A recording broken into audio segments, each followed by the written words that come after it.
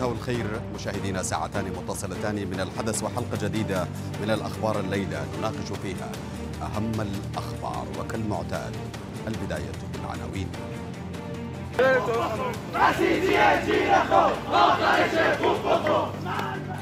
تظاهرات الداخل الإيراني تواصل التصاعد والعالم يتضامن وفرض عقوبات جديدة على شرطة الأخلاق.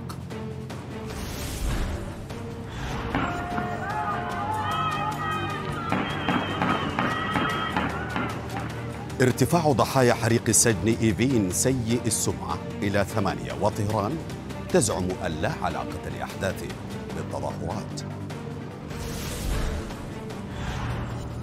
الحكومة العراقية تكشف أكبر عمليات الفساد بالمليارات والمتورطون أحزاب وميليشيات نافذة. نحن نعتقد إنه الحل السياسي المقبول بالنسبة لنا في قوى الحرية والتغيير الحرية والتغيير تعلن رؤيتها للحل رفض لمجلس القوات المسلحة ومطالبة بمجلس دفاع تحت سلطة الحكومة.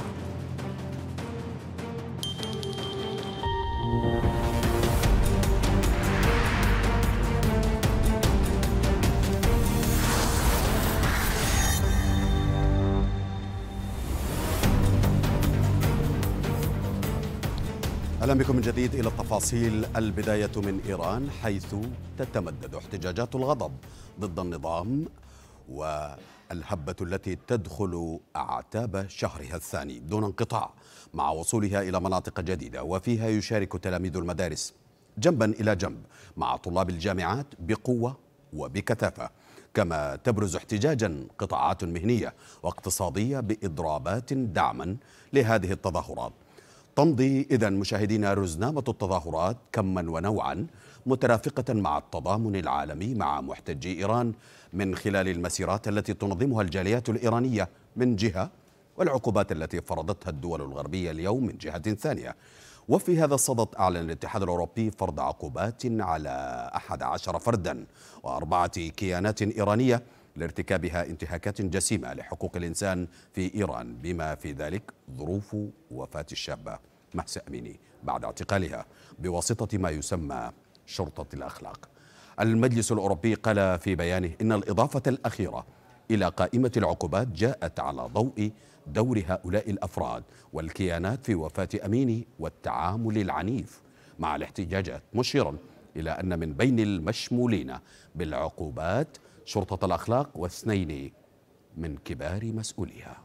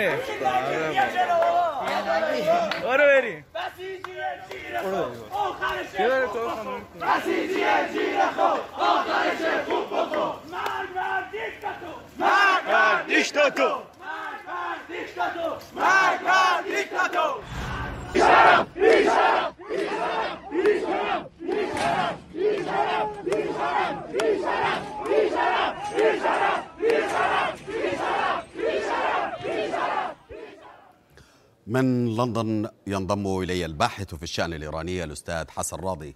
مساء الخير أستاذ حسن. عموما كما ونوعا تتواصل هذه الاحتجاجات وهي تدخل شهرها الثاني تعاطي أمني عنيف من قبل النظام وفي نفس الوقت ربما محاولات ربما لمغازلة والتودد للمحتجين بعدد من القرارات مثلا التعليمات بمراجعة القوانين الخاصة بالمرأة وغيرها. إلى أي مدى يمكن الآن ونحن ندخل الشهر الثاني نقول إن هذه الاحتجاجات بدأت تؤتي بعض الثمار وأقصد هنا الضغط على النظام.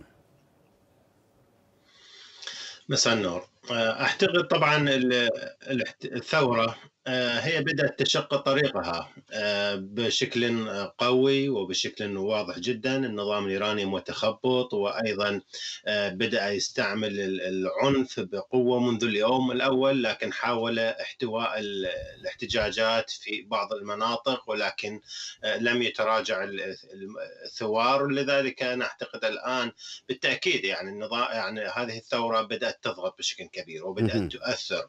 يعني خامنئي يعني لم يشهد آه، يعني تاريخ خطاباته خلال الأيام الماضية خرج أكثر من ثلاث مرات يخطب وحاول يهدد وحاول يهدئ وأيضا آه، إبراهيم رئيسي وكل المسؤولين يخرجون تارة يهدئون وخارجا وتارة يهدد يعني يهددون.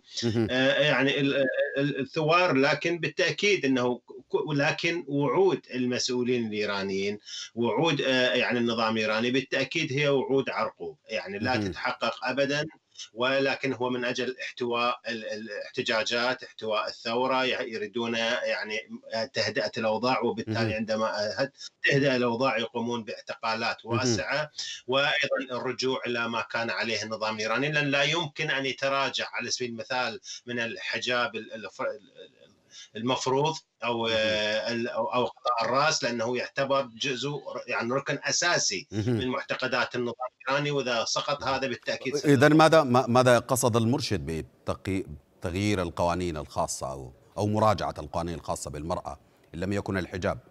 هل يتحدث عن المساواة المشاركة في المناصب وغيرها ربما من الحقوق التي تفتقدها المرأة الإيرانية منذ الأزل؟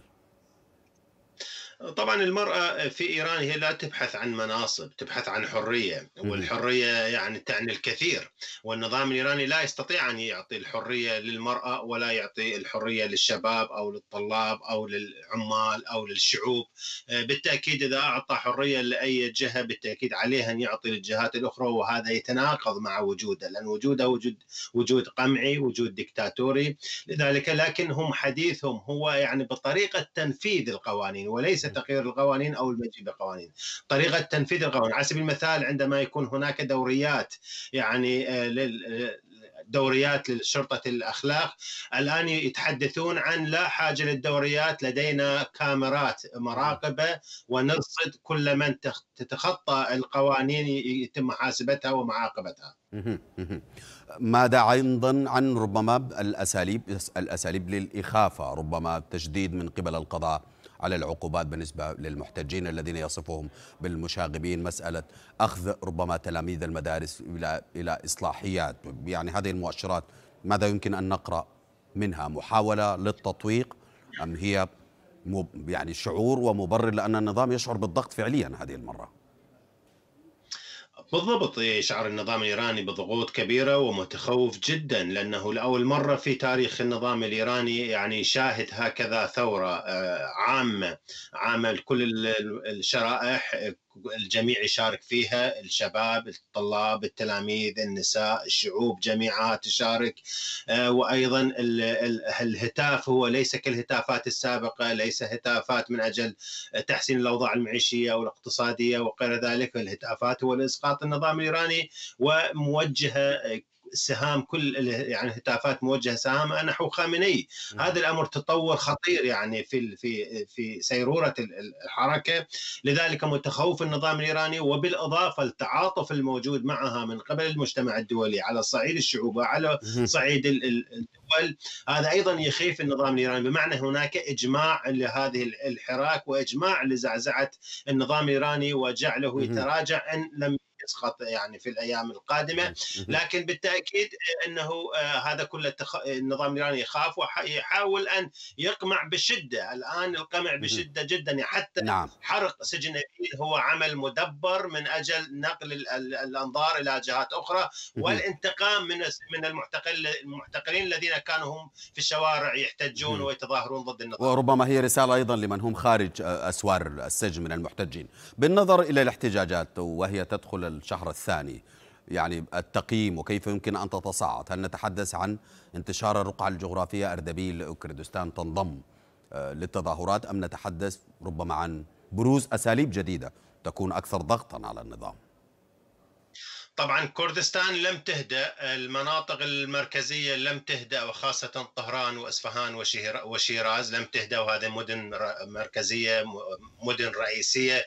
لكن التغيير الآن الموجود هو كانت بعض المدن في أذربيجان منتفضة الآن اتسعت رقعة الاحتجاجات في أذربيجان وهذا مؤشر خطير جدا ضد النظام الإيراني وأيضا جيد جدا لصالح المحتجين والمتظاهرين لأنه اذربيجان هم آه، يعني قومية كبيرة شعب صحيح. كبير من حيث النسبة من حيث النسبة ومن حيث وجودهم في الأسواق في البازار. يعني التجار إيران معظمهم من اذربيجان لديهم وجود قوي في طهران وفي مدن ومحافظات عديدة. الآن محافظة أردبيل آه، وعاصمتها أردبيل الذي التي هي أيضا انتفضت آه، أيضا بمعنى انتقال الاحتجاجات إلى كل مناطق اذربيجان المناطق التركية وهذا أيضا بمعنى الجدير بالذكر يعني الشعب الاذربيجاني علاقاته جيدة جدا مع الشعب الأحوازي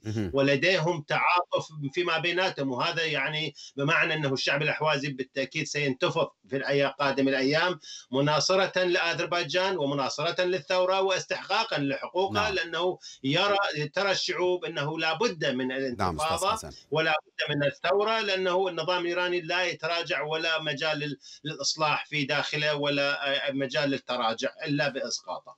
من لندن الباحث في الشأن الإيراني الأستاذ حسن راضي أشكرك على كل هذه القراءات.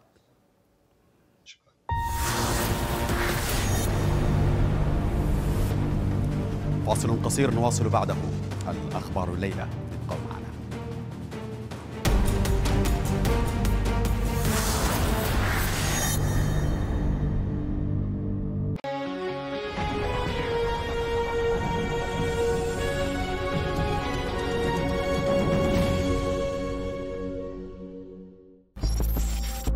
مع التطور الرقمي والمعلوماتي المذهل تغيرت الحرب على الإرهاب جذريا de sortir un peu de l'intuition et de dire que c'est pas parce qu'on est dans du relationnel qu'on peut pas avoir une approche systématique rigoureuse avec des études de ces interactions justement entre les humains. وبينما أدرك المتطرفون أهمية الفضاء السبراني لتحقيق أهدافهم في بث الرعب.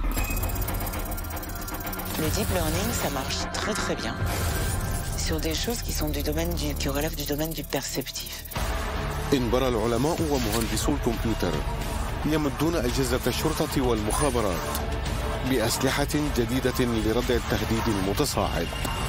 So we're able to instantaneously train our networks to recognize faces, much like the human mind does. العلم في مواجهة الإرهاب الأمن الإلكتروني الجمعة الواحدة بعد منتصف الليل على شاشة العربية.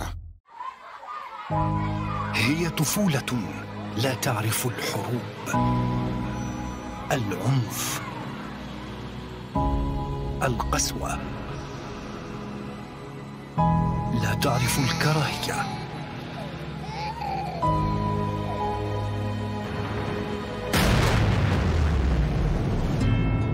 لكنها تدفع ثمن كل ذلك.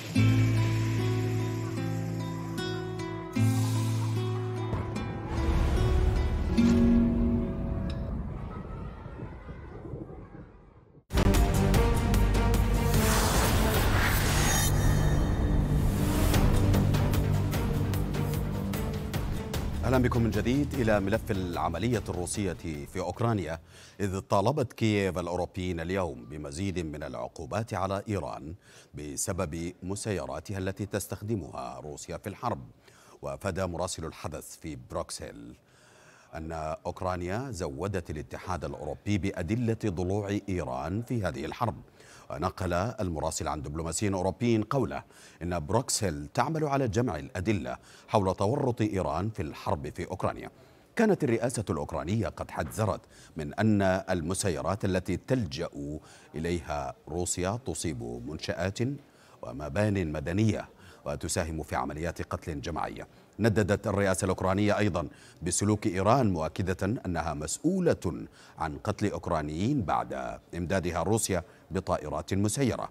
وأكد معاون الرئيس الأوكراني ميخائيل بودولياك أن الطائرات المسيرة التي استهدفت كييف اليوم إيرانية الصنع مشددا على ضرورة فرض مزيد من العقوبات ضد إيران باعتبارها مشاركة في عمليات قتل جماعي في قلب أوروبا.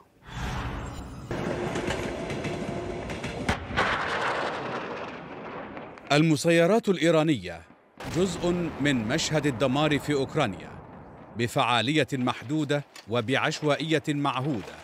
المسيرات التي تلجأ إليها موسكو تصيب المنشآت والمباني المدنية وفقا لمكتب الرئيس زلنسكي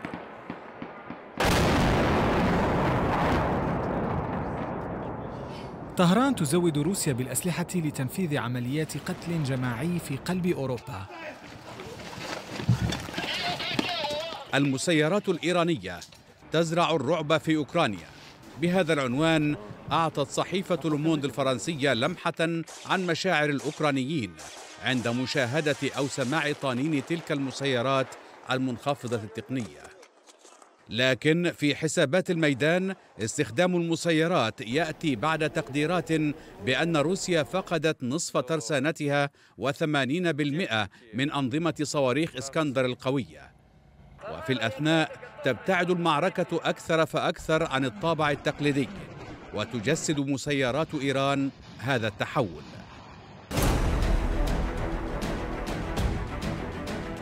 تقارير غربية ترى أن روسيا قررت تحقيق نجاحات في حربها المتعثرة. المسيرات تؤمن خيارا متاحا ورخيصا. كما أن التعويل على المسيرات يرتكز على استخدامها بكميات ضخمة. كما أن المسيرات التي تنفجر في هدفها تحل مكان الصواريخ.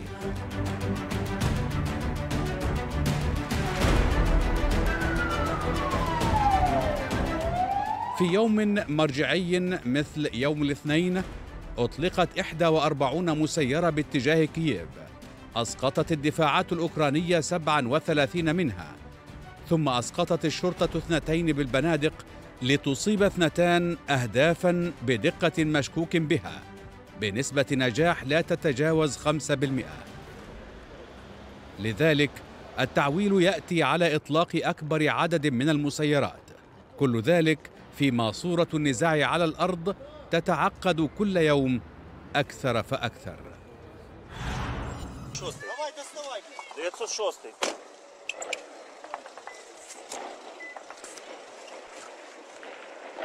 Зараз якщо буде йти хуя. От, от.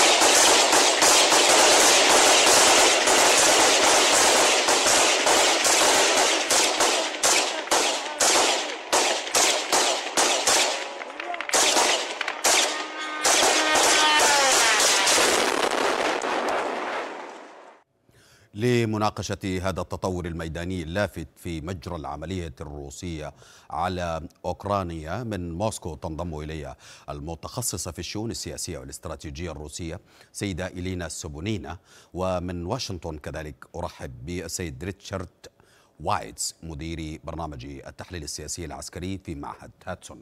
أبدأ معك سيدة إلينا روسيا حتى الآن لا تزال صامتة رغم المؤشرات الاتهامات من أوكرانيا. الاتحاد الأوروبي ينتظر أن أن يصل إلى أدلة وبالتالي هل لا تجد موسكو حرجا في أن يثبت أنها بالفعل تستخدم هذه المسيرات الإيرانية بالنظر إلى أن روسيا صاحبة الآلة العسكرية الضخمة تلجأ إلى إيران؟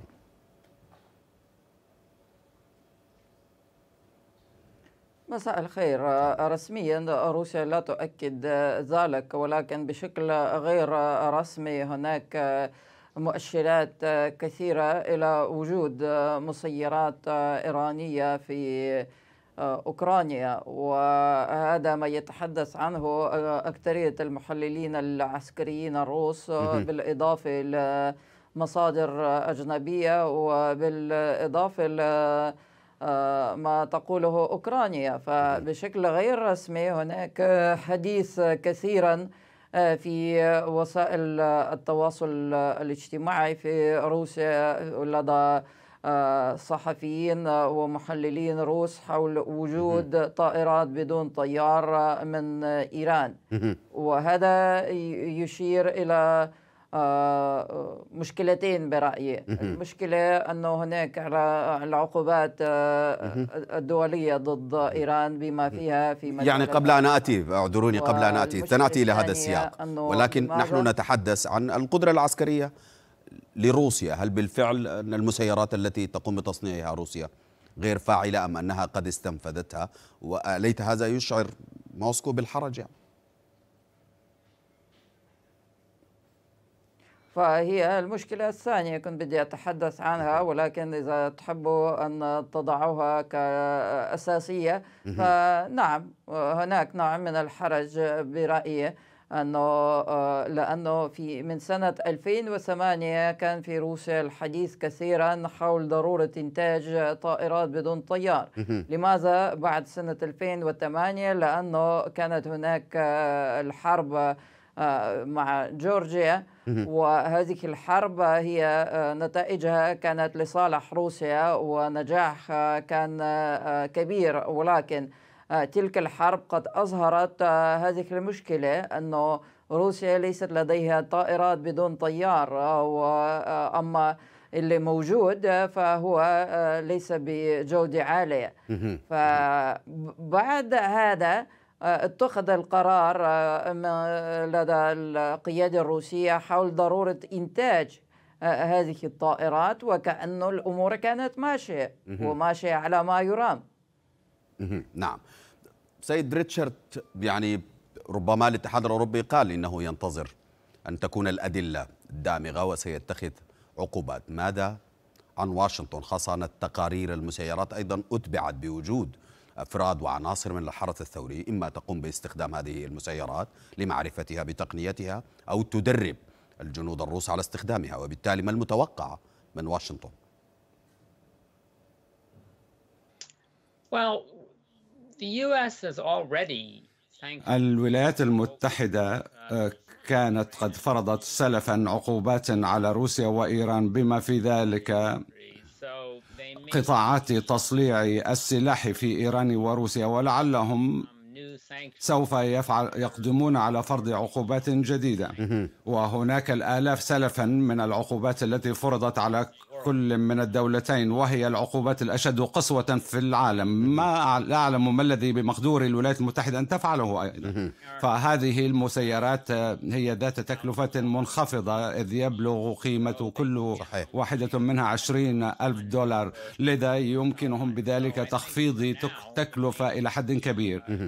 لذا من الآن فصاعدا سوف يكون هناك عملية يتم من خلالها إيجاد طريقة لمساعدة أوكرانيا لإسقاط هذه المسيرات وهذه الوسيلة قد تكون أكثر فعالية من العقوبات التي يمكن للولايات المتحدة أن تقدم عليها. يعني وفي هذا الصدد هذه هل يمكن أن تكون المسيرات أو تجارتها هدف أيضا لواشنطن؟ تعلم أن هذه المسيرات تستخدم الإيرانية تستخدم في عدد من المناطق بواسطة أذرع إيران. نتحدث عن اليمن نتحدث عن ميليشيا حزب الله نتحدث عن سوريا حتى.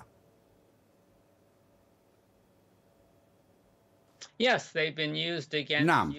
لقد تم استخدامها ضد القوات الأمريكية في العراق أيضا. لعلكم تتذكرون أن هذه المسيرات شكلت معضلة كبيرة عند استخدامها لأول مرة لأنها أثبتت قدرتها على استهداف مصالح أمريكية في العراق. فهي صغيرة الحجم وتستطيع المناورة وتستطيع أن تستمر في التحليق وإيران لعلها كانت محظوظة بما فيها الكفاية لصناعة هذه التقنيات ودرست التكنولوجيا الخاصة بها وهي لا تقل جودة عن تلك الموجودة في دول أخرى. هذه مشكلة مؤرقة ولا بد لنا من إيجاد طريقة لمساعدة القوات الأوكرانية والقوات الأمريكية في العراق وسوريا. بالإضافة إلى تلك الدول التي تم تعرضها لهجوم من مسيرات إيرانية في اليمن وبعض دول الخليج الأخرى وغيرها. أعود إليك سيدة سوبنينا فيما كنت قد أشرت إليه مسألة العقوبات الدولية المفروضة على إيران يعني مسيرات عن طريق التجارة أي أنها تدر أموالا إلى الخزينة الإيرانية. هنالك عقوبات دولية يعني بغض النظر عن ما يجري طبعا بين واشنطن والدول الأوروبية وما صنع الحداد بينهما ولكن هذه المسألة دولية. هذه عقوبات تقوم روسيا الآن بخرقها.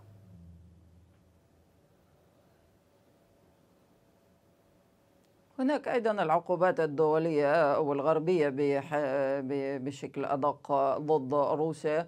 روسيا تعتقد أنه هذا ليس شرعي غير قانوني وهذا يعني أنه روسيا آه، آه، غير مستعدة أن تنظر لمثل نفس العقوبات حول إيران. ولكن رسميا روسيا ولا مرة اعترفت بأن هناك خرق لهذه القوانين وهناك انتهاكات وهناك مسيرات آه، إيرانية في أوكرانيا لدى روسيا.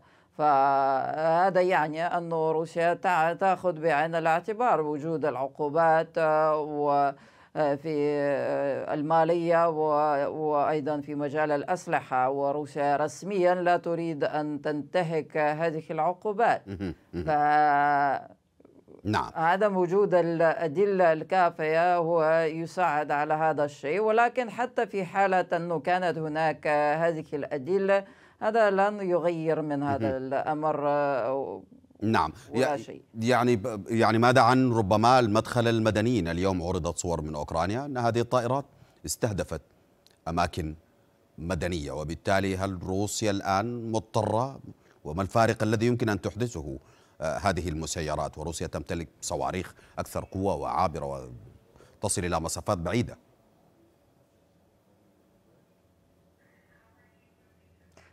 لا بهذه النقطة أنا أتحدى بشدة لأنه أعرف تماما أن وزارة الدفاع الروسية تختار مواقع عسكرية.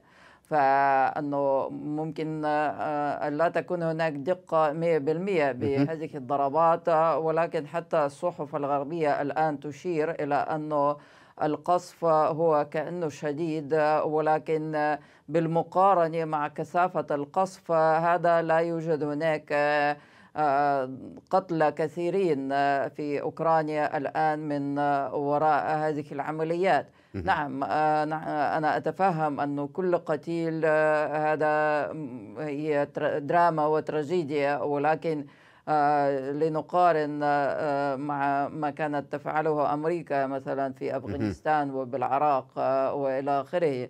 فهناك دقة معينة في توجيه هذه الضربات وروسيا تجنبت خسائر في صفوف المدنيين. آه، وما زالت تفعل هذا الشيء رغم أنه كان يؤثر حتى على سرعة التقدم الروسي في أوكرانيا. نعم يعني سيد ريتشارد كما قالت السيدة إلينا يعني طهران وموسكو يعني غير آبهتين بمسألة العقوبات وهم يعني في في نقطة واحدة يتعرضون لعقوبات من واشنطن أو من الاتحاد الأوروبي وبالتالي يعني كيف السبيل ربما لأن تحدث هذه المسيرات فارقا وتغير مجرى المعالك هل نشهد التزويد بربما أسلحة دفاعية أكثر دقة تستطيع أن تحتوي هذه المسيرات Uh, yes, so the نعم. sanctions العقوبات على المدى الطويل سوف تؤذي الاقتصاد الروسي وقطاع الصناعة العسكرية لكن ليس هذه السنة وربما ليس في السنة القادمة. وكما ناقشنا الأمر هذه المسيرات ليست باهظة التكلفة. لعل الحل الأفضل يتمثل في مساعدة في في تقرير كيفية إسقاط تلك المسيرات أو اعتراضها من خلال دفعها لإصابة الأهداف الخطأ وكذلك أيضا أن تتم عرقلة الاتصالات بين المسيرة ومشغليها وأن يتم تمويه الأهداف كما كان الأمر ناجحا في أوكرانيا. يمكن فعل جملة من التدابير المضادة. لذا سوف يسعون أي أعني الولايات المتحدة وأوكرانيا والناتو لتبني كل هذه التدابير والوقوف على التدابير الناجحة ونعلم أن روسيا سوف تتصدى لها. كنا قد رأينا هذا الأمر السباق بين الطرفين في مساعيهما للحصول على ميزة بضرب نقاط ومواطن ضعف الطرف الآخر من خلال العمليات الدفاعية المضادة. يعني كما تفضلت ربما آه، صد المسيرات يعتبر أمر معقد باعتبار صغر الحجم كما قلت أنت التحكم من على البعد. كم سيكلف هذا؟ وهل واشنطن وأوروبا مستعدة لمد أوكرانيا بمثل هذه الأجهزة أو الأسلحة الدفاعية التي تحتاج دقة؟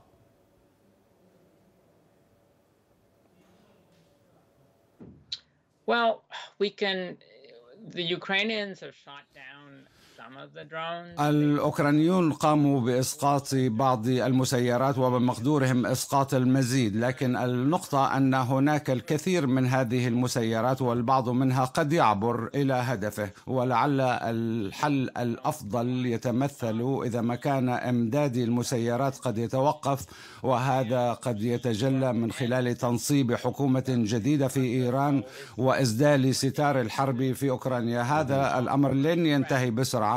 بل هو تهديد طويل الأمد. وعليه فإن الأمريكيون والناتو آه، عليهم أن يتعاملوا كيفية التعاطي مع هذا الأمر. هذا أمر جديد بالنسبة للولايات المتحدة التي لطالما تمتعت بالتفوق الجوي آه، في كافة الأوقات وقدرتها على إسقاط الأهداف من الجو آه، والدبابات. لكن الآن كل من الطرفين لديهم قوة جوية من الصواريخ المختلفة وبيئة الكل يسعى للتعاطي معها. من واشنطن السيد ريتشارد وايتس مدير برنامج التحليل السياسي العسكري في معهد هدسون. شكرا جزيلا لك. وأيضا من موسكو إلى المختصة في الشؤون السياسية والاستراتيجية الروسية السيدة إلينا سوبونينا. شكرا لكما.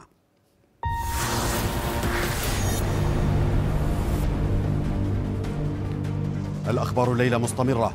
وفيها بعد قليل. الرئيس اللبناني يستقبل السفير السعودي.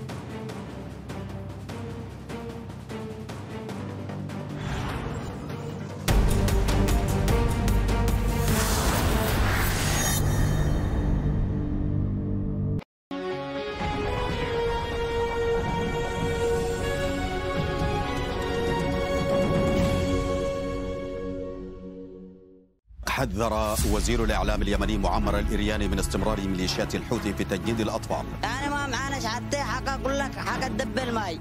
كل توقيعات أو التزامات الحوثيين بحماية الأطفال وعدم إقحامهم في الجبهات كلها تبخرت. هذه الجرائم هي جرائم ضد الإنسانية. تستمر الخروقات منذ الساعة الأولى لإعلان الهدنة.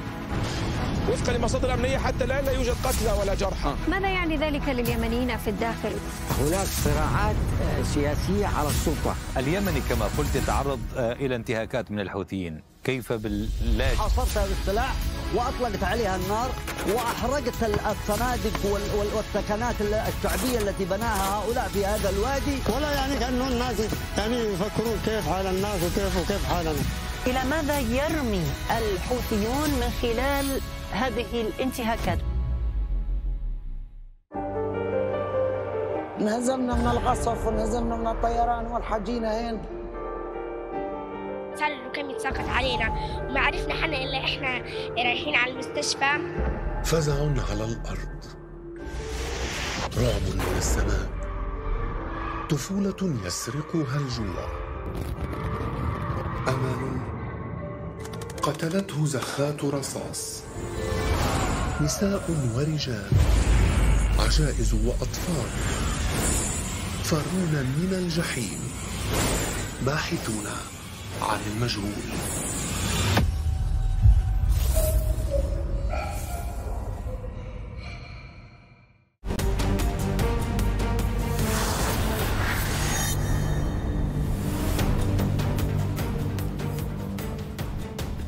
أهلا بكم من جديد إلى العراق حيث كشفت الحكومة عن واحدة من أكبر عمليات الفساد المالي في العراق والتي تورطت بها شركات تابعة لأحزاب سياسية متنفذة.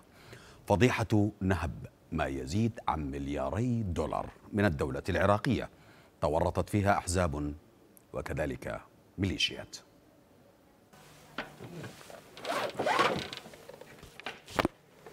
فضيحة فساد من العيار الثقيل هزت الرأي العام في العراق والتي تم بموجبها الاستيلاء على مبلغ مالي يقدر بمليارين وثلاثمائة مليون دولار من قبل خمس شركات.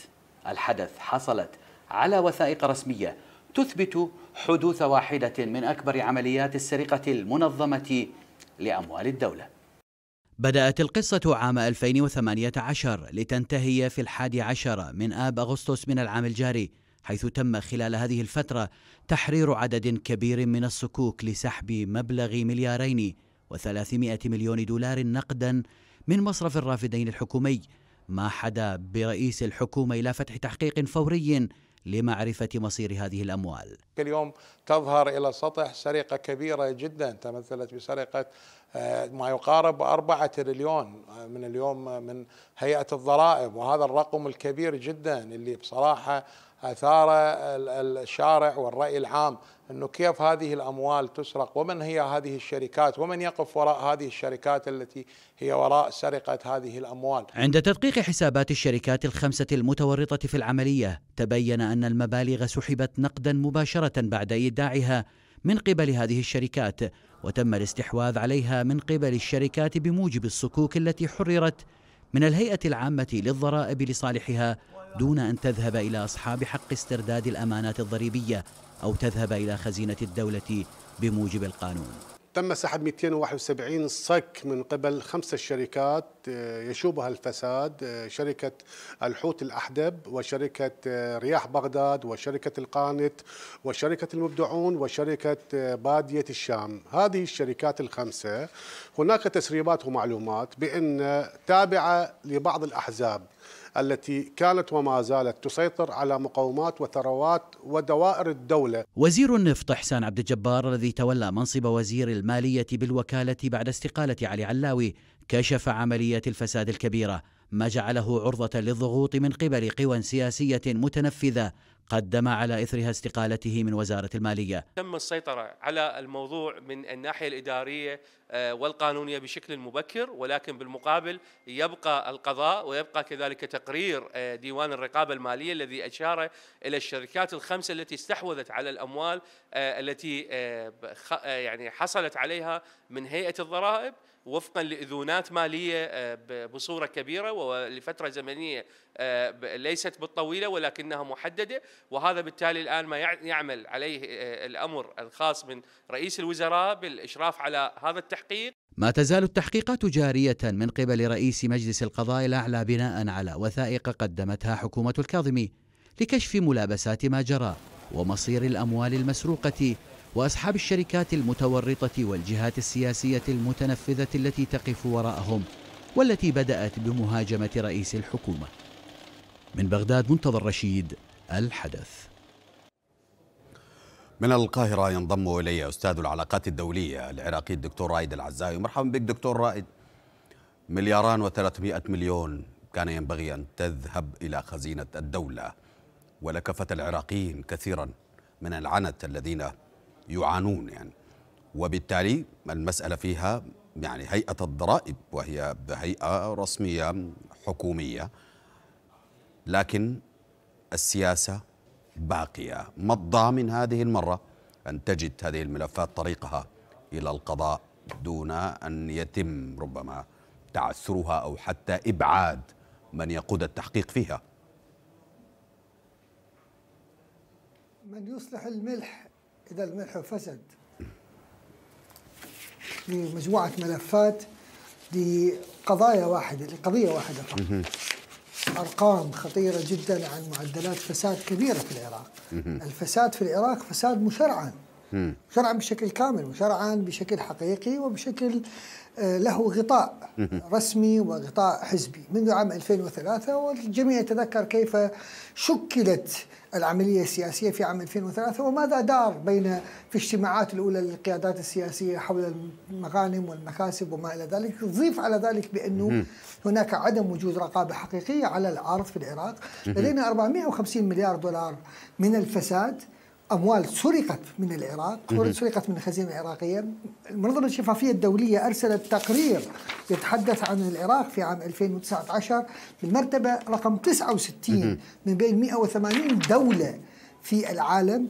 بمعدلات الفساد 40% نسبة البطالة. معدلات سرقة الأموال من النفط فقط من شركات البترول الشركات النفطية 22 مليار. من الكهرباء من الكهرباء تحديدا 68 مليار دولار.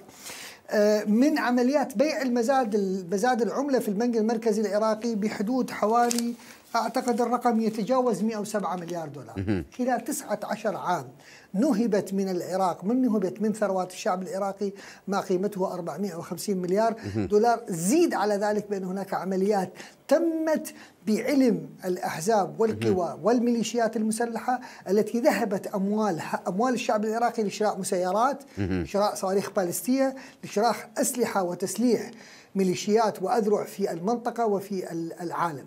العراق مر بأكبر عملية فساد مشرعنة مؤطرة بشكل قانوني.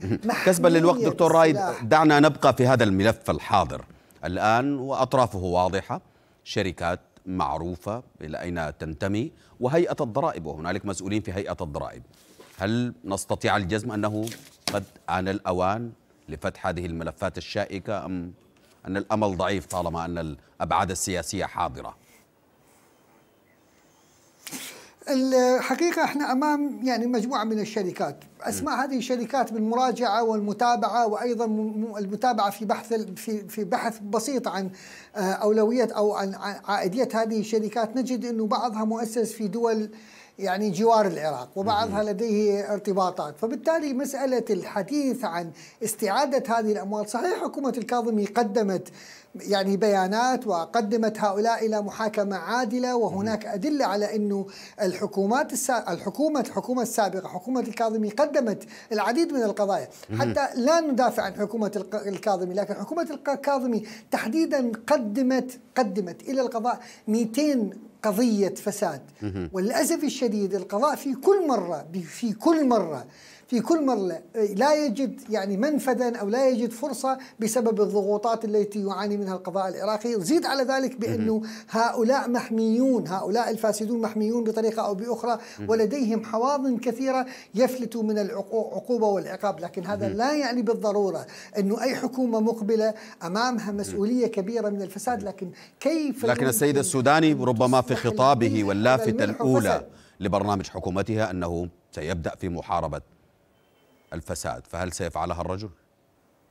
طيب, طيب أنا أقول لك يعني نحترم الرجل نرى بأنه يمكن أن يقدم أشياء كثيرة لكن مسألة غير محسو يعني غير لي هي ليست كلاما. محاربة الفساد يحتاج إلى إجراءات على الأرض كثيرة ويحتاج إلى وجود عناصر موجودة في في الإدارة في إدارة محاربة الفساد عناصر صاحبة يد نظيفة. وهذا إلى الآن إلى الآن أمر مشكوك فيه. يعني إلى الآن لا يمكن القول بأنه إعادة تدوير ذات الوجوه في إدارة العملية السياسية ربما يجعلنا في قلق من إجراءات حقيقية على الأرض لمحاربة الفساد في العراق. عملية محاسبة الفساد في العراق تحتاج إلى رقابة دولية حقيقية منظمات دولية تراقب عملية متابعة قضايا قضايا الفساد وجود مدعي عام حقيقي على الأرض محاكمة عادلة وأمام الجمهور لمن يظلم ليس يعني وهنا هنا أود الوقت يداهمنا.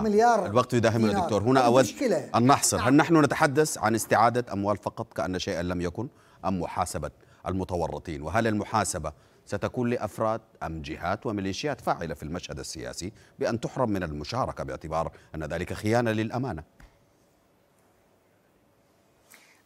كلاهما يمكن ان إذا استطعنا أن نستعيد أموال إحنا عندنا أموال في كل مكان غير مستردة، عندنا أموال في مصر في الإمارات في السعودية في أو عفوا في الأردن في عديد من الدول اللي سمحت بطريقة أو بأخرى بسبب وجود غطاء سياسي أن أن تتحرك به هذه الأموال، لكن في نهاية المطاف نحن نحتاج إلى استرداد أموالنا اولا، ثانيا إلى محاسبة عادلة للفاسدين ومنعهم من من العمل السياسي، الفاسدون هم جزء من العملية السياسية، يعني الفساد وإن كانت شركات مؤسسات لكن لديها حواضنها زيد على ذلك أنه نحتاج إلى قوانين واضحة، قوانين شفافة لمحاربة الفساد، بمعنى أنه كشف الذمة المالية للمسؤول، للمتصدي إلى المنصب، يحتاج هو وزوجته وأولاده وأبناء عمه وأبناء خاله وصولا للدرجه السابعه حتى لأنه كثير من عندهم سرقوا أموال العراق بأسماء أقاربهم بأسماء آآ آآ يعني أصدقائهم وبالتالي ذهبت أموال العراق، عملية الاسترداد تحتاج إلى رجال فاعلين، تحتاج إلى قضاء فاعل، تحتاج إلى رقابة دولية واضحة، تحتاج إلى نعم. ايادي نظيفة وعقول نظيفة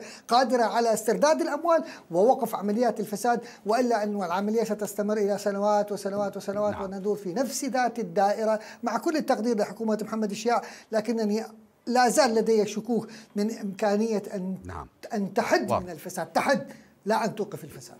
أستاذ العلاقات الدولية العراقي الدكتور رايد العزاوي أشكرك على كل هذه الإفادات والقراءات.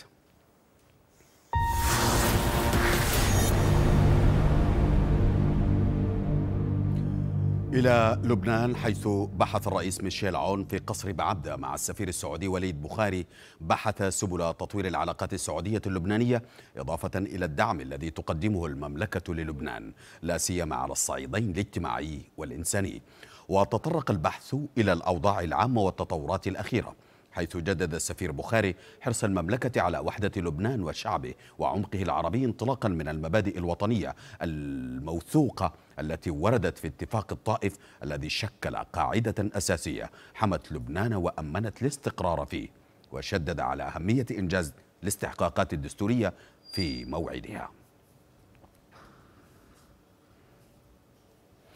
ومع اقتراب انتهاء الفترة الرئاسية لميشيل عون كشفت السفارة السويسرية في لبنان أن سويسرا تعمل في لبنان منذ سنوات عديدة لمنع نشوب النزاعات وتعزيز السلام مشيرة إلى أنه خلال الشهرين الماضيين وبالتعاون مع منظمة مركز الحوار الإنساني التي تتخذ سويسرا مقرا لها تم التواصل مع جميع الجهات الفاعلة السياسية اللبنانية والإقليمية والدولية لتحضير للتحضير لمناقشات تشاورية. وتأتي هذه المناقشات المزمع عقدها نتيجة مشاورات سابقة مع جميع الأطياف السياسية اللبنانية والإقليمية والدولية. وأشارت السفارة في بيانها إلى أن العشاء غير رسمي. الذي كان من المفترض أن يقام هذا الثلاثاء في منزل السفيرة السويسرية يهدف إلى تعزيز تبادل الأفكار بين مختلف الجهات الفاعلة السياسية اللبنانية.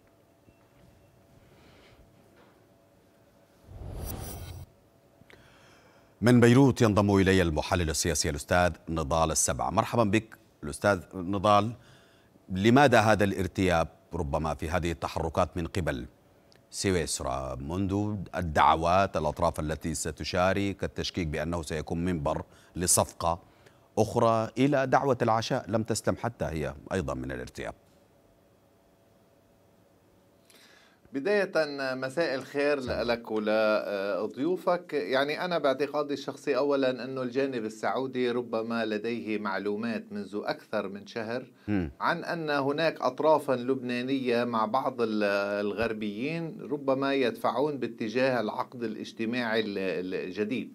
وبالتالي ما يقلق السعودية اليوم أولا أن يعني هناك أطراف سياسية ويعني الوزير جبران باسيل عمليا يعني أغلق كل الأفق للوصول لانتخاب رئيس للجمهورية.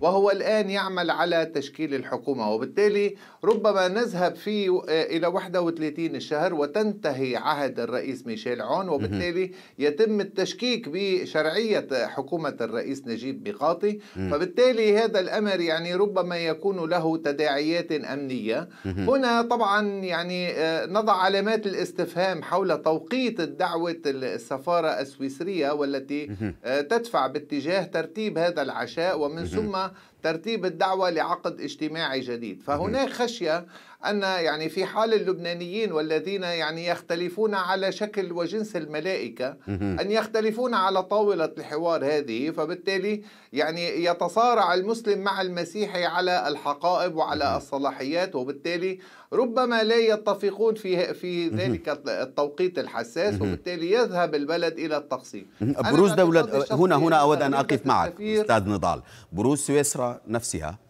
في هذا المشهد على الرغم من أنها قالت أنها موجودة من سنوات لكن في إطار الحوار وسويسرا معروفة دولة تتخذ الحياد ولا تملك أوراق, أوراق ضغط حتى على الأطراف في الداخل اللبناني. وبالتالي ماذا سننتظر؟ إن قام هذا اللقاء سمه تشاوري سمه ربما سياسي سمه توفيقي. لا يعني حتى هذه اللحظة الحركة السعودية الدبلوماسية السريعة يعني بالأمس أطلق السفير وليد البغاري يعني تغريدة واضحة وهي عبارة عن موقف سياسي واضح للمملكة العربية السعودية. أولا علينا أن نتذكر جيدا أن هناك تفويض من مجلس الأمن ومن الأمم المتحدة ومن الجامعة العربية للمملكة العربية السعودية برعاية الطائف والسهر على تطبيق بنوده. المملكة العربية السعودية على فكرة يعني لم تعلن يوما عن هذا الأمر ولم تمارس هذا الدور. هي أنتجت الطائف ورعت اتفاق الطائف وجمعت اللبنانيين وبالتالي تركت مسؤولية تسيير اتفاق الطائف للبنانيين دون أن تدخل ولكن القانون الدولي عمليا يبيح وهذا الأمر يعني موجود في آه، آه، آه، بالنصوص الموجودة في الأمم المتحدة. طبعا بالنسبة لسويسرا عمليا يعني لا تستطيع عمليا أن تدفع باتجاه العقد الاجتماعي الجديد لأنها تدرك اولا أنها بحاجة إلى مشاركة المكون السني. أنا لا أعتقد أن هناك سنيا واحدا من المجلس النيابي سوف يشارك في هذا اللقاء خاصة يعني بعد أن تم يعني خاصة بعد أن ظهر أن الدعوة من هذا اللقاء هو الإطاحة باتفاق الطائف وبالتالي إدخال لبنان في وهنا أود أن أسأل يعني لا لا ينكر أي أي لا يستطيع أي أحد. في الداخل اللبناني أن ينكر أن الطائف عصمت دماء اللبنانيين وخلقت الاستقرار. وبالتالي حينما نتحدث عن مجرد طرح لعقد اجتماعي جديد أليس هذا لعب بالنار في الوضع اللبناني الهش؟ بحكم المؤكد هو هنا من هنا يعني أنا أعتقد أنه هذه الدعوة يعني هي اولا ملفتة وخطيرة ومشبوهة في توقيتها وفي دلالاتها وفي مضمونها. وهي تأتي قبل أسبوعين من انتهاء عهد الرئيس ميشيل عون الوزير جبران بيسيل منذ ستة سنوات وهو يتحدث عن عيوب الطائف وعن ضرورة إلغاء اتفاق الطائف والذهاب نحو عقد اجتماعي جديد برغم من أن يعني هذا الاتفاق الذي أنتج في عام 89 عمليا خلال طول هذه الفترة لم نجد أي عيوب داخل الطائف. ربما يكون بعض المواد بحاجة إلى تعديل ولكن أن نذهب إلى عقد اجتماعي جديد كما يعني يطرح الوزير جبران بيسيل بالتالي ندخل في تنازع على على الصلاحيات وبالتالي يضع البلد ومستقبل البلد وخارطة البلد على يعني شفير التقسيم وهذا ما يقلق السعوديين. وأنا باعتقادي الشخصي أنه زيارة السفير وليد البخاري اليوم إلى الرئيس ميشيل عون وإلى الرئيس آه، نبيه بري ربما باعتقادي أنه يعني حمل رسائل سعودية عنوانها أن يعني اتفاق الطائف هو خط أحمر بالنسبة للسعوديين. وبالتالي أي اتفاق سياسي داخل البلد والذهاب إلى عقد اجتماعي جديد أولا بحاجة إلى توافق لبناني وهذا غير متوفر. بحاجة إلى تفاهم إقليمي وهذا غير متوفر. بحاجة إلى حاضنة عربية بحاجة إلى حاضنة سعودية وأيضا بحاجة إلى حاضنة دولية. أنا يعني حسب المعلومات من خلال اللقاءات التي عقدت ما بين الفرنسيين والجانب السعودي الجانب السعودي سأل بشكل مباشر باتريك دوريل إن كان هناك مشروعا فرنسيا آه، لاحتضان والدفع باتجاه عقد اجتماعي جديد. كان الجواب الفرنسي أن لا نية لفرنسا ولا تفكر بهذا الأمر مطلقا. حتى هذه اللحظة لا نعرف ما يعني الخلفية التي دفع دفعت السويسريين للقيام بهذه الخطوة ولكن أنا أعتقد أنه يعني الوزير جبران بيسين الذي كان مشاركا ومساهما بموضوع ترسيم الحدود البحرية ربما يكون يعني لديه آه، حديث مع الجانب الأمريكي أو الغربيين نعم. وبالتالي دفعت سويسرا إلى القيام بهذه الخطوة نعم ولكن. حسب معلوماتي وبعد التحرك الدبلوماسي السعودي الذي قاده السفير وليد البخاري حسب معلوماتي أن السفاره آه، السويسرية تراجعت عن هذا الأمر من بيروت المحلل السياسي اللبناني الأستاذ نضال السبعة شكرا على كل هذه القراءات. تابعوا قناة الحدث على منصات التواصل الاجتماعي وتفاعلوا معها وزوروا موقعها الحدث دوت نت. ساعة ثانية من الأخبار الليلة بعد قليل. إلى اللقاء.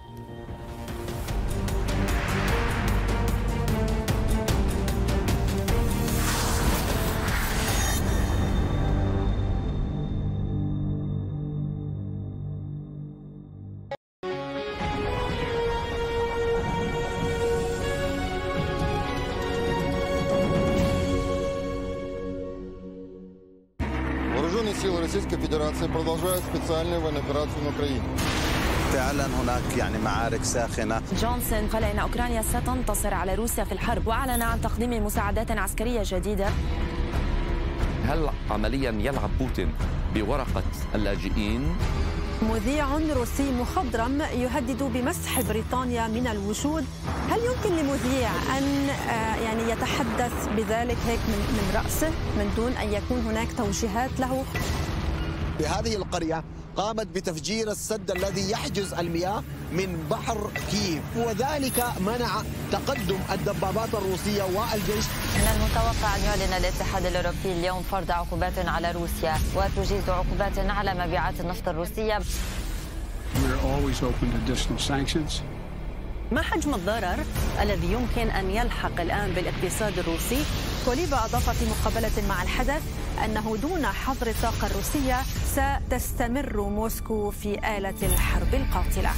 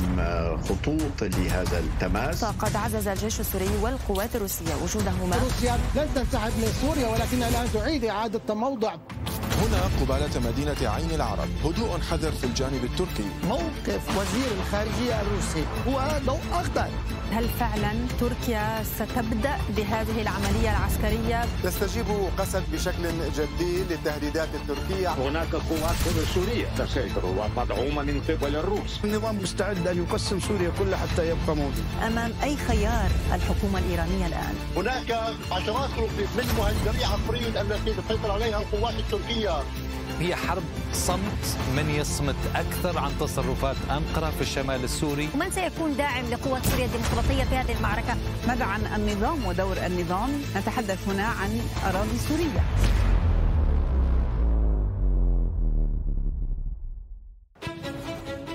كل منهم لديه مهمة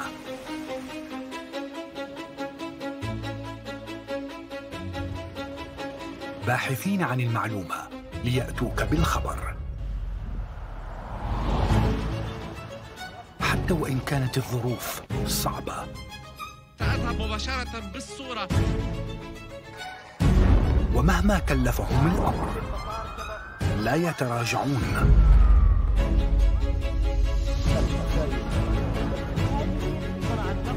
يوما بعد يوم. مستمرون.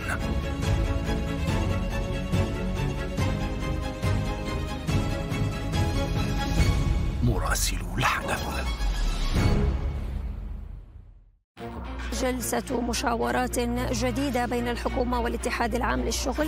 على الحكومة أن تتفهم المطالب المشروعة والواقعية التي قدمها الاتحاد العام التونسي للشغل. اليوم على الحكومة أن تصارح الشعب التونسي بحقيقة أوضاعه وبحقيقة ما وصل إليه الوضع الاقتصادي والمالي. لمحت زعيمة الحزب الدستوري الحر عبير موسي لمقاطعة الانتخابات التشريعية. ما هي الخطوة الأولى التي سيبدأ بها الرئيس التونسي؟ قرار الرئيس التونسي قيس سعيد بدعوة قائد جبهة البوليساريو إلى تونس لحضور هذه القمة. ما الأسباب الممكنة لهذه الخطوة التونسية؟ هناك يعني اتفاق مسبق وخاصة في القمم الإفريقية اليابانية بأنه لن يتم استدعاء يعني جبهة البوليساريو. المسألة ليست من تنظيم تونس لوحدها بل هي من تنظيم تونس إلى جانب ثلة من الدول والزعماء الأفريقيين. نتحدث عن أزمة قابلة للاحتواء؟ أم ممكن أن تتطور الآن بين تونس والمغرب؟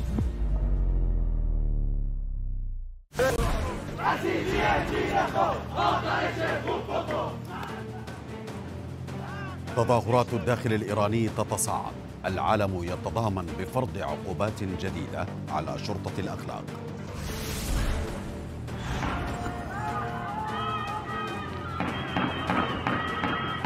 ارتفاع ضحايا حريق سجن إيفين سيء السمعة إلى ثمانية وطهران تزعم أن لا علاقة لأحداثه بالتظاهرات. الحكومة العراقية تكشف أكبر عمليات الفساد بالمليارات والمتورطون أحزاب وميليشيات نافذة. نحن نعتقد أنه الحل السياسي المقبول بالنسبة لنا في قوى الحرية والتغيير الحرية والتغيير تعلن رؤيتها للحل رفض لمجلس القوات المسلحة ومطالبة بمجلس دفاع تحت سلطة الحكومة.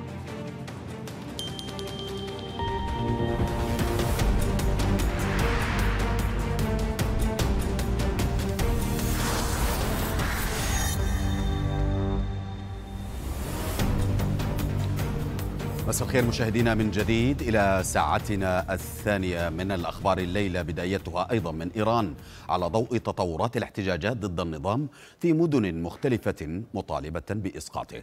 فاليوم ارتفع عدد ضحايا المعتقل السياسي الكبير الذي يسمى سجن إيفين إلى ثمانية قتلى فيما يواصل النظام لإنكار ويعتبر أن أحداث السجن لا علاقة لها بالاحتجاجات التي تهز البلاد منذ أكثر من شهر. موقع ميزان التابع للقضاء الإيراني. قال اليوم إن أربعة سجناء آخرين توفوا في المستشفى ليرتفع بذلك عدد القتلى إلى ثمانية. أما السلطات الإيرانية فزعمت أن الأحداث في السجن اندلعت إثر صراع في قسم المجرمين غير أن هذا المعتقل يضم عددا كبيرا من المعتقلين السياسيين الإيرانيين والأجانب وتسبقه سمعة التعذيب والانتهاكات التي يواجهها معارض النظام الإيراني.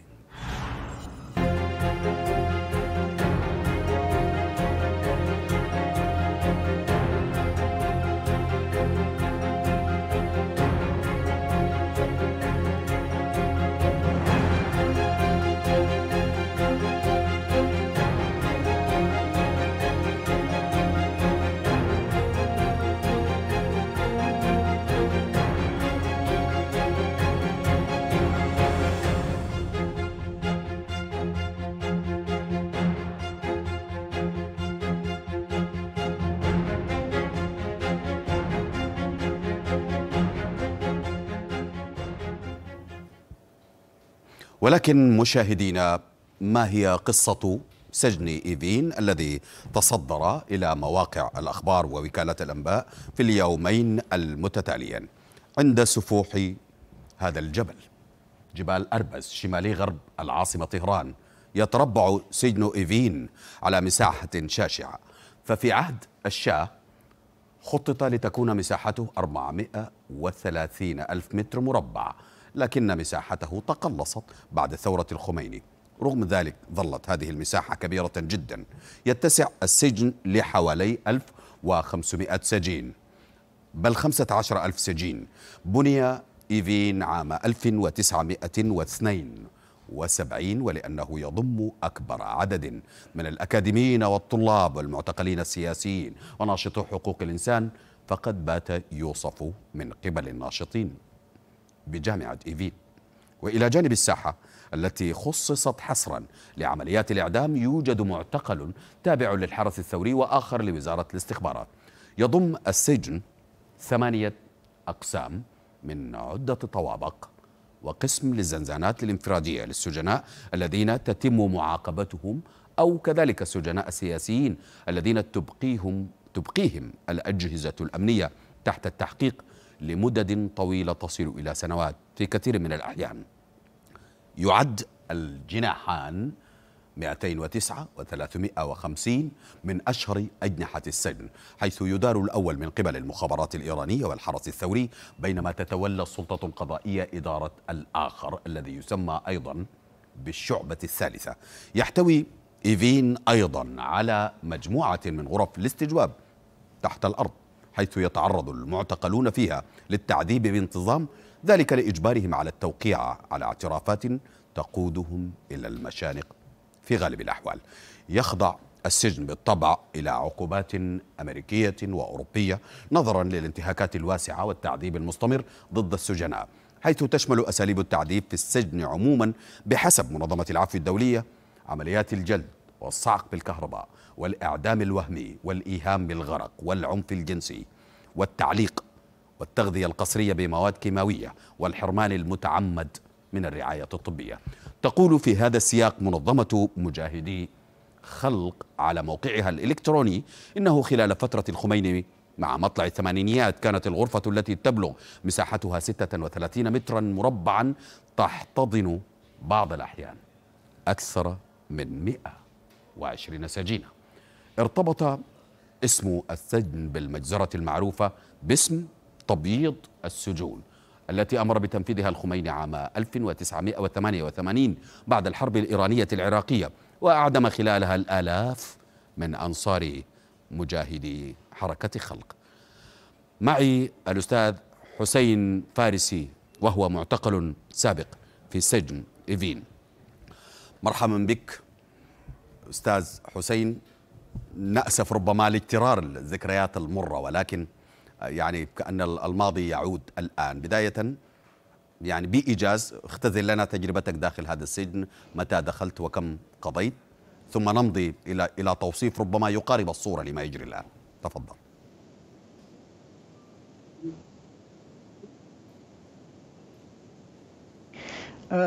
با سلام به شما و أحييكم وأحيي مشاهديكم أنا حسين فارسي قضيت 12 عاما في السجون الإيرانية في إيفين وغزل الحصار وجوهرداشت ثمانية سنوات كنت منها في سجن إيفين في مختلف أقسام السجن.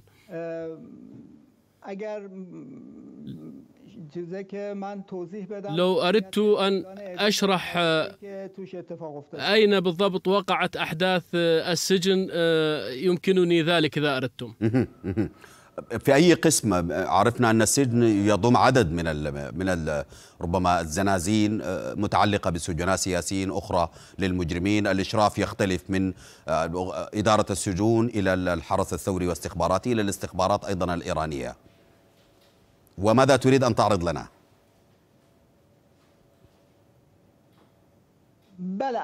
نعم أنا فقط أردت أن أشرح بالضبط أين حدث.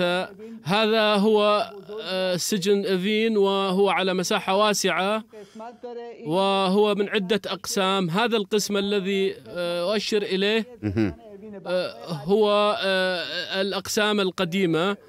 وعلى اليمين هذه مجموعة العنابر التي أنشئت خلال السنوات الأخيرة كما تشاهدون في الصورة. وهنا في الواقع وقع الحريق وكل الأحداث جرت هنا. وهو في القاطع السابع الذي يظهر الآن.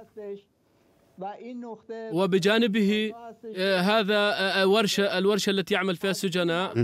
والحريق بدأ من هنا من القسم السابع. ومن ثم توسع إلى آه، باقي النقاط. وأريد أن أريكم في صورة أخرى بمنظر من السجن آه، يظهر بدقة أين هي القاعات التي آه، وقع فيها الحريق. ومن ثم امتد إلى الأقسام الأخرى. وفي الطابق العلوي الذي تشاهدونه وفي هذه النقطة بجنبه أيضا في هاتين القاعتين آه، هما اللتان آه، تعرضتا إلى حريق بالكامل في آه، عصر يوم الجمعة الماضي عندما كان السجناء في القسمين السابع هذا السابع. وخلفه القسم الثامن. هنا حدثت الأحداث الحريق عندما كان السجناء في الباحة. وكما علمنا من مصادر مجاهد خلق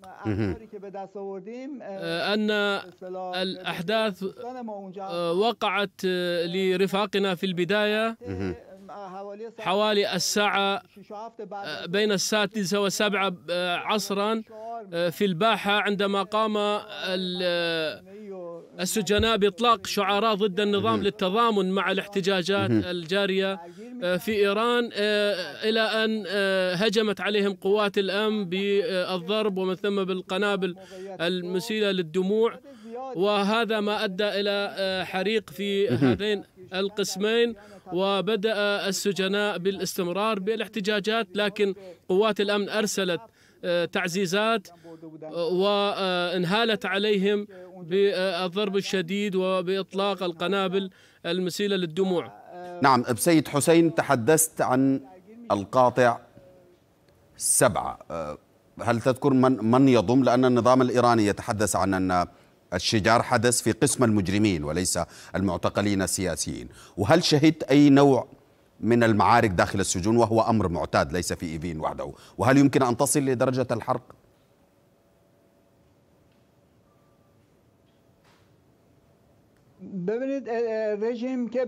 النظام ينشر الأكاذيب هو نفس النظام الذي أسقط الطائرة الأوكرانية ومن ثم قال إنها كانت خطأ.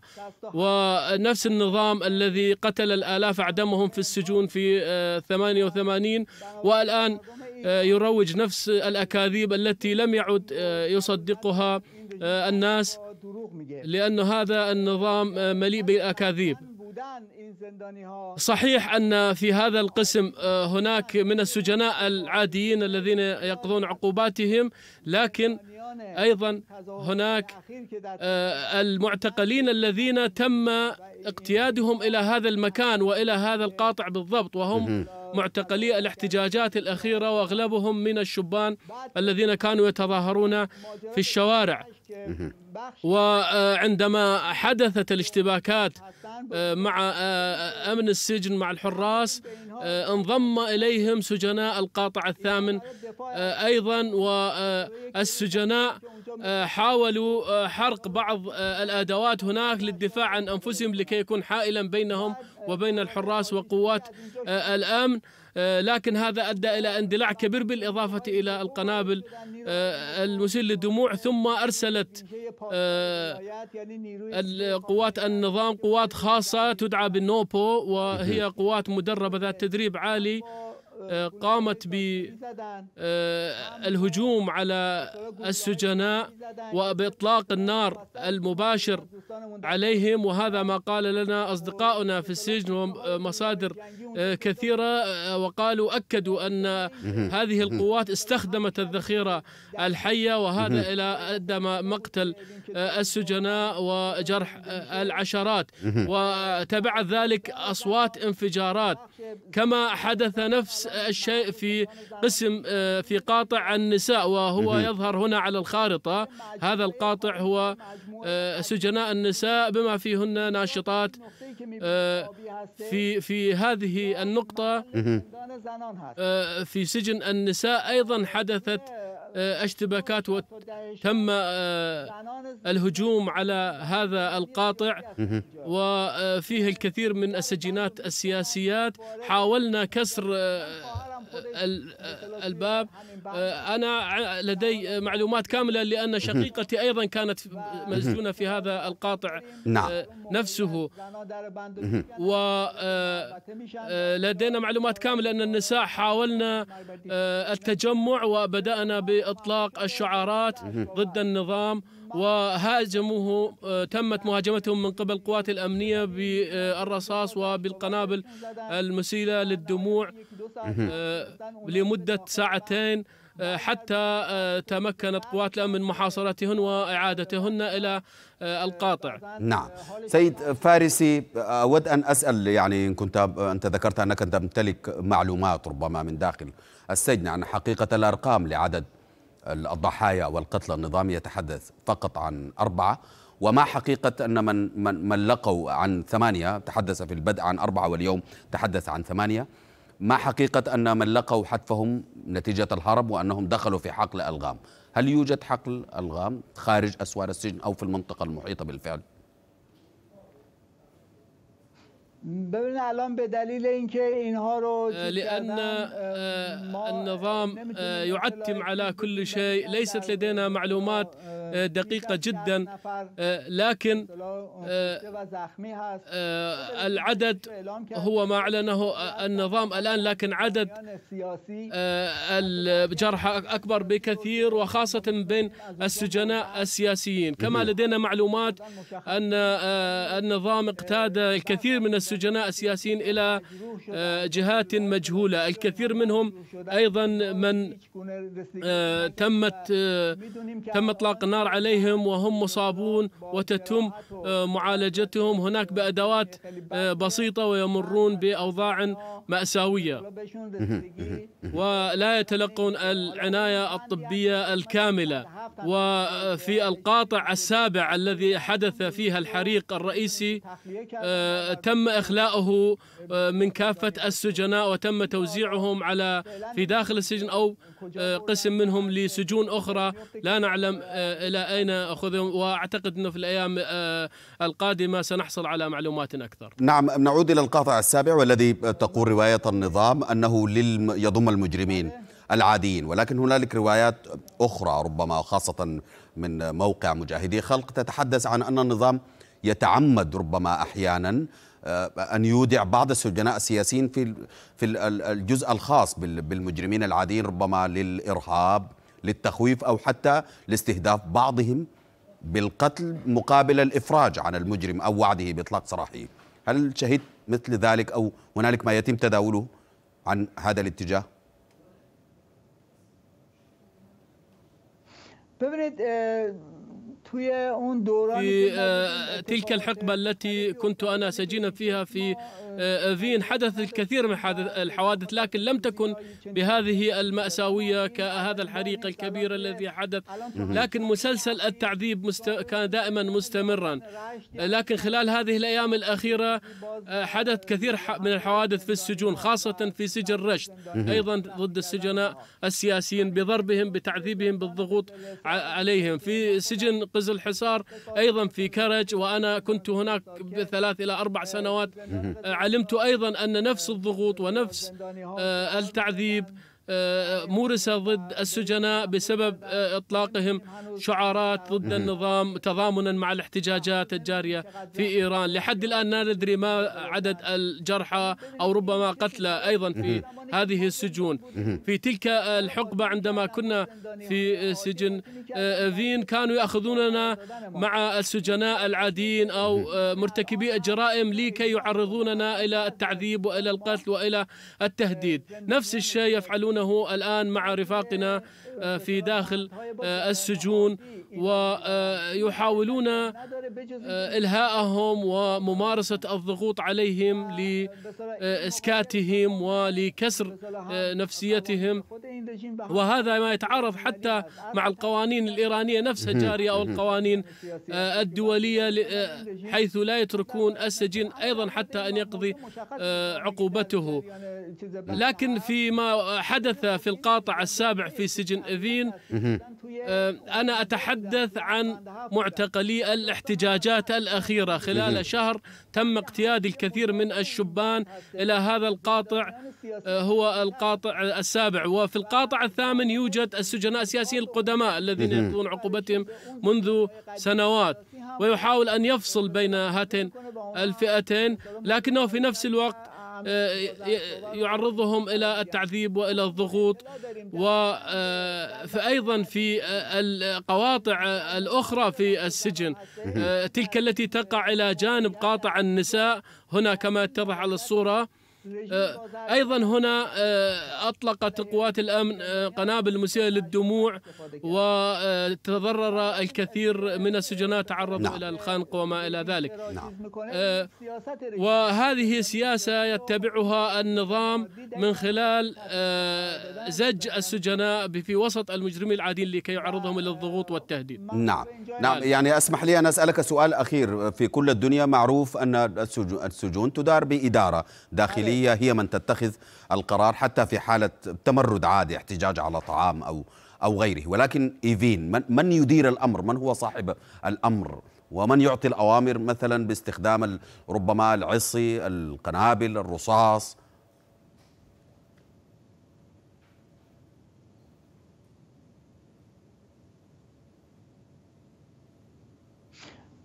ببین اولا که توی زندان اوین في سجن أفين في البداية يجب أن أقول أن رئيس السجن في البداية ثم الحراسة أي أمن السجن وأيضا رئيس منظمة السجون.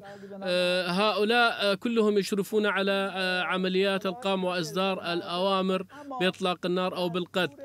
لكن لكن آه الأوامر بالهجوم على السجن لا يستطيع أحد أن يصدره سوى آه المرشد الأعلى كالشخص الأول في آه البلاد لأنه لا أحد يتجرأ إطلاق النار دون ضوء أخضر من المرشد أو مكتبه.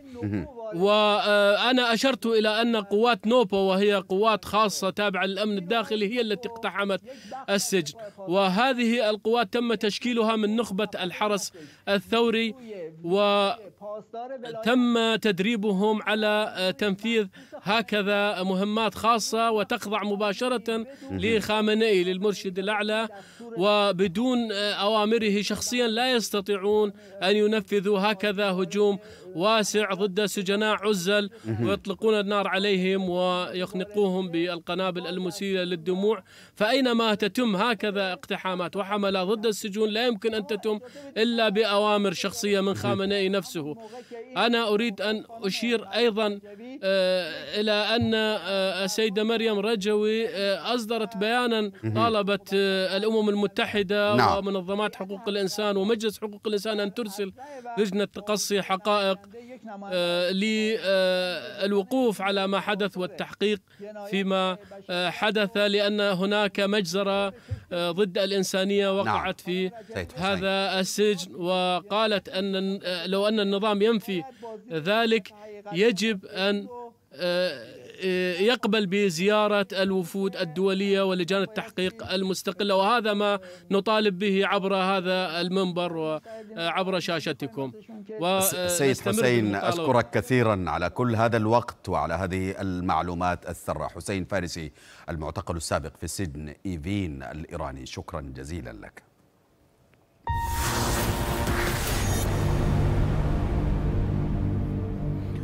إلى السودان ومؤشرات التسوية للأزمة السياسية التي تقترب من إكمال عامها الأول.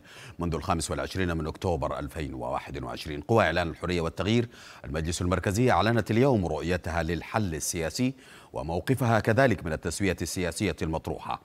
خالد عمر يوسف القيادي في التحالف قال في مؤتمر صحفي إن الشيء الإيجابي من جهة المكون العسكري في مجلس السيادة هو قبوله بمقترح الإعلان الدستوري الذي قدمته اللجنة التسييرية لنقابة المحامين. وقال تحالف المجلس المركزي إن رؤيته إن رؤيته تتمحور في استعادة المسار المدني الديمقراطي في إصلاح المؤسسة العسكرية وتكوين جيش قومي واحد يطلع بمهامه الدستورية في حفظ الأمن والدفاع عنها مؤكدة أن الحركات المسلحة الموقعة على اتفاق جوبا يجب أن تكون جزءا من أي حل سياسي على أن تتم مراجعة الاتفاق بمشاركة الحركات نفسها.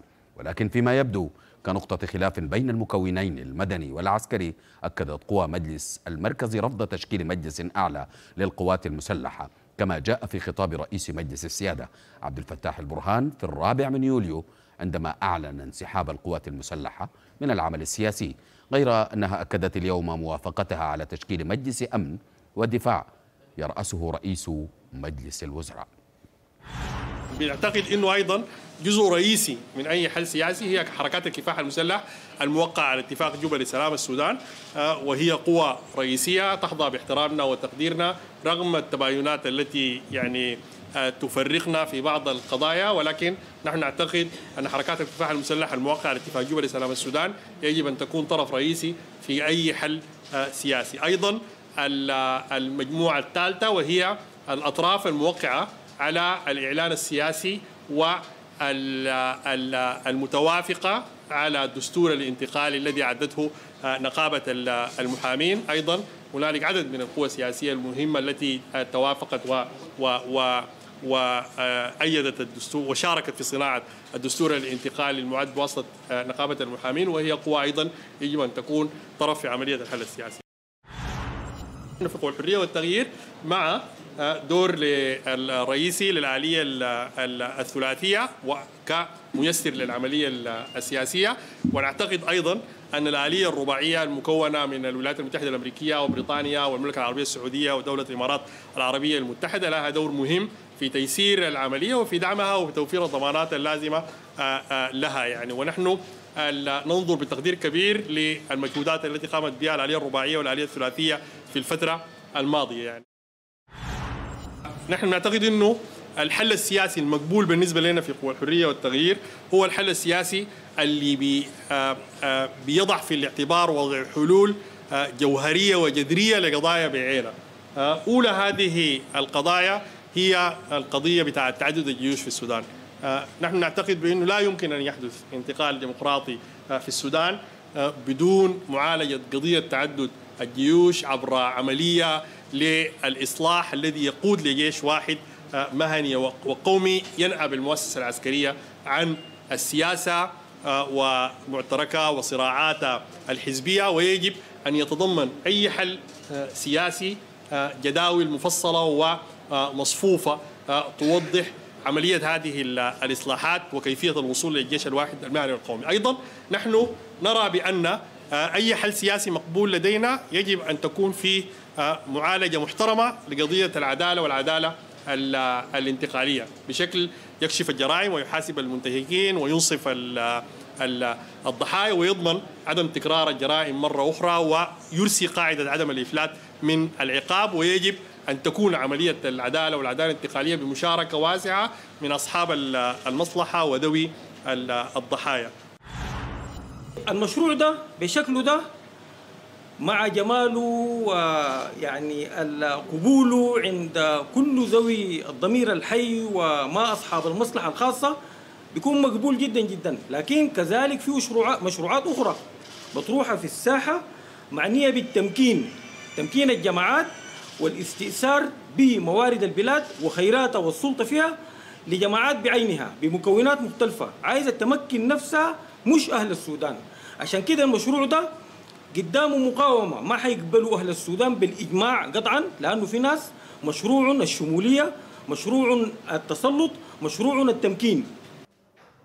مشاهدينا مبادرة تلو أخرى.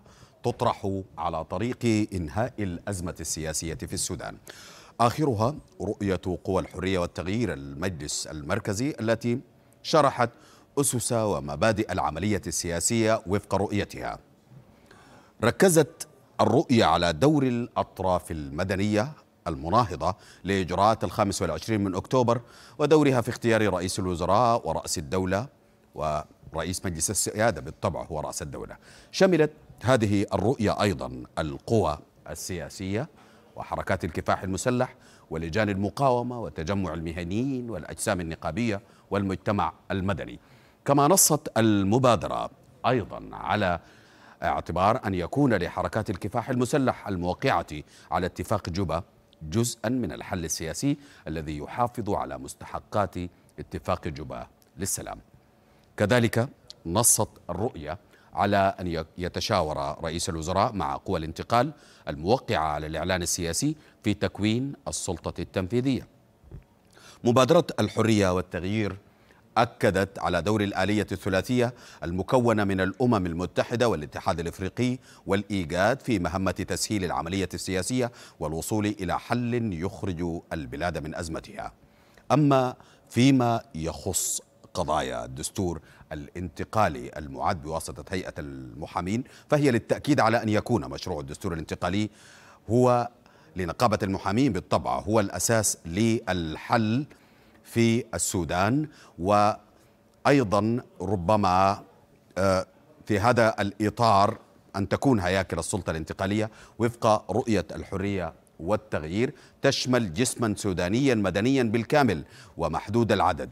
يمثل رمز السيادة ويراعي التنوع ولا تكون له أي مهام تنفيذية أو تشريعية. وكذلك حكومة كفاءات وطنية ملتزمة بمبادئ الثورة دون محاصصات حزبية وتكون لها كل الصلاحيات السلطات الممنوحة في نظام برلماني وفقا للدستور الانتقالي. بالإضافة طبعا إلى مجلس تشريعي محدود العدد تمثل فيه قوى الثورة ولجان المقاومة وأسر الشهداء واللاجئون والقوى السياسية والمدنية والمهنية كما جاء في البيان. كما نصت فقرة الهياكل على إصلاح المنظومة العدلية بما يحقق استقلالها ونزاهتها وأن يكون نظام الحكم الفيدرالي لا مركزي مع إنشاء مفوضيات مستقلة وفقا لقوانين تحدد مهامها. أيام عدة تفصلنا عن مضي عام على يوم الفراق بين العسكريين والمدنيين. منذ ذلك اليوم بات الشارع السوداني يترقب الخلاص من أزماته الاقتصادية عبر الاتفاق السياسي وتخوفا من استمرار حال الاحتقان والاحتجاجات. المبادرات دي بكثرتها إحنا ما شايفين فيها أي شيء. مبادرة الكدباس ومبادرة الجد ومبادرة المحامين ومبادرة جامعة الخرطوم ومبادرة إحنا دايرين الناس كلها تقعد مع بعض. كل السودانيين نقعد في دائرة مستديرة ونحل المشكلة دي. إحنا طبعا عاوزين الحاجة إن يتفقوا كلهم مع بعض عشان تكون حاجة كويسة للسودان. لأن السودان وصل لضائقة يعني شديدة. في ظل التقاطعات وأوجه النظر المتعددة أنا شايف إنه الموضوع ده بعيد. حتى لو وصلنا لتسوية سياسية ممكن تاني نصل لمرحلة تانية بتاعت يعني اضطراب سياسي. تكلم عنها. مبادرات عدة قدم بعضها وصفت بالإقصائية لأنها استبعدت الجيش وأخرى روجت لبعض وجوه النظام السابق وغيرها جاء لضمان بقاء بعض القوى السياسية في الحوار. ومبادرة لم تلق ترحيبا لعدم علاجها لجذور الأزمة رغم محاولتها ضمان الحد الأدنى من التوافق. هناك تفاوض فقط الآن في مسار واحد. والذي يختص بالوثيقة الدستورية التي خرجت من نقابة المحامين. لكن كل المبادرات السابقة التي استمع إليها المكون العسكري وربما استمع إليها المكون الدولي أيضا لأنها قدمت أيضا للأطراف الدولية هي حتى الآن ليست من ضمن خارطة الاتفاق الذي يجري التفاوض حوله الآن. رغم رسائل التفاؤل من أطراف مختلفة طغت على أجواء الخرطوم هذا الأسبوع لكن التخوف من مفاجآت اللحظات الأخيرة يعطل الاتفاق. هناك كثير جدا من القرارات أو الاتفاقات التي تدرس بين الأطراف لكنها تتوقف في آخر لحظة بفعل فاعل آه، موجود في المشهد السياسي في مكان ما أو أحيانا لتغيير الظروف التي تحيط بالعملية التفاوضية فينشأ رد فعل يطيح بالاتفاقات. هذا المكان قد يشهد مواجهات متكررة في الخامس والعشرين من هذا الشهر. دعت قوى المكون المدني لها لكن في غرف أخرى يجرى العمل ومسابقة الزمن للتوصل إلى حل يلغي اللاءات الثلاث والدخول إلى مرحلة الاتفاق على تشكيل الحكومة. عادل عيدان الحدث الخرطوم. ينضم إلي من الخرطوم الأستاذ عادل خلف الله الناطق باسم حزب البعث العربي الاشتراكي وعضو المجلس المركزي لقوى الحرية والتغيير. وكذلك من لندن الدكتور محمد زكريا نائب الأمين السياسي لحركة العدل والمساواة والناطق الرسمي باسم الحرية والتغيير التوافق الوطني. أبدأ معك أستاذ أو الدكتور محمد كيف تنظرون إلى الرؤية التي بدأت تتضح من قبل المجلس المركزي للحرية والتغيير فيما يلي أن تكون حركات الكفاح المسلح جزءا من أي اتفاق قادم وهي محددة حركات الكفاح المسلح أي الحركات التي كانت تقاتل قبل توقيع اتفاق جوبا. ولكن جسم الحرية التوافق الوطني يضم الكثيرين من الأجسام الجديدة التي ولدت. فهل أنتم متمسكون بحلفائكم أم أن لكم رؤية أخرى؟ التحية لك وتحية لضيفك الكريم وللمشاهدين. نؤكد في أن آه، ما طلع ما ما ما يعني أعلنت عنه الحرية والتغيير ممثلة في المجلس المركزي مؤخرا آه، حول رؤية يعني هي محل ترحيب من حيث المبدأ والتي تؤكد بهذه الخطوة أنها انتقلت من محطة لا شراكة لا شرعية لا تفاوض إلى محطة اللا تفاوض بعد أن يعني ضعنا عددا من الشهور. آه، في مزايدات لا تسمن ولا تغني آه، من جوع. والآن تعود إلى جادة الطريق وندعوها كذلك. مثلما يعني آه، ارتضت التحاور أن يكون هذا التحاور أمام الأضواء الكاشفة وتحت الأنظار ومفتوح لكل الأجهزة الإعلامية. أما قضية السلام هي قضية أساسية بالتأكيد. لا جدال فيها واحدة من منجزات الثورة السودانية المجيدة هي اتفاقية جوبا لسلام السودان والتي عالجنا فيها آه، قضايا الجزرية التي أقعدت بالدولة السودانية. ولكن كان للمجلس المركزي قبيل توقيع هذه الاتفاقية ومنذ سقوط نظام المؤتمر الوطني المباد مواقف سالبة ضد رفاق الأمس من قوى الكفاح المسلح. آه، الشواهد عديدة على آه، ذلك وبالتالي المواقف بفقط اشتراط أن يكون حركات الكفاح المسلح ضمن آه، معادلة التسوية آه، المأمولة وفق منطوق المجلس المركزي. هذا الأمر بالتأكيد مرفوض. من الذي يعطي المجلس المركزي حق أن يحدد الأطراف التي يجب أن تشكل مشهد الانتقال؟ الثورة السودانية المجيدة شاركت فيها قوى الكفاح المسلح شاركت فيها قوى سياسية خارج المجلس المركزي.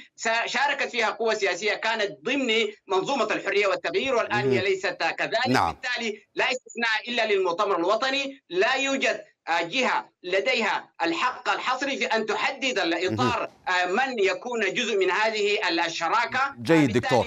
آه، ما تم طرحه حتى لا نذهب بعيدا ونعطي الأستاذ عادل للرد. أستاذ عادل مباشرة الدكتور محمد زكريا يقول من أعطاكم الحق لتحددوا من يستصحب في الحوار أو في التسوية القادمة من غيره؟ وماذا تعنون بفقط حركات الكفاح المسلح وأنت تعلم كما توجهت بالسؤال الأستاذ محمد زكريا والدكتور محمد زكريا أن هنالك في جسم التوافق الوطني أجسام ولدت حديثا ربما هنالك مسارات أخرى يمكن أن تفصل وأنت العارف أكثر مني في في طبيعة يعني ماذا تعنون بحركات الكفاح المسلح أهلا بك أستاذ ولمشاهدي الحدث وتحية وتقدير لشهداء الانتفاضة السودانية. آه، ضيفك الكريم آه، يعني آثار آه، قضايا باعتبار أنه الرؤية اللي قدمتها اليوم قوى الحرية والتغيير عبر المؤتمر الصحفي هي خوض في التفاصيل. والتفاصيل بالتأكيد بتقود لعدم لعدم التوافق أو لعدم الرضا أو للاعتراض.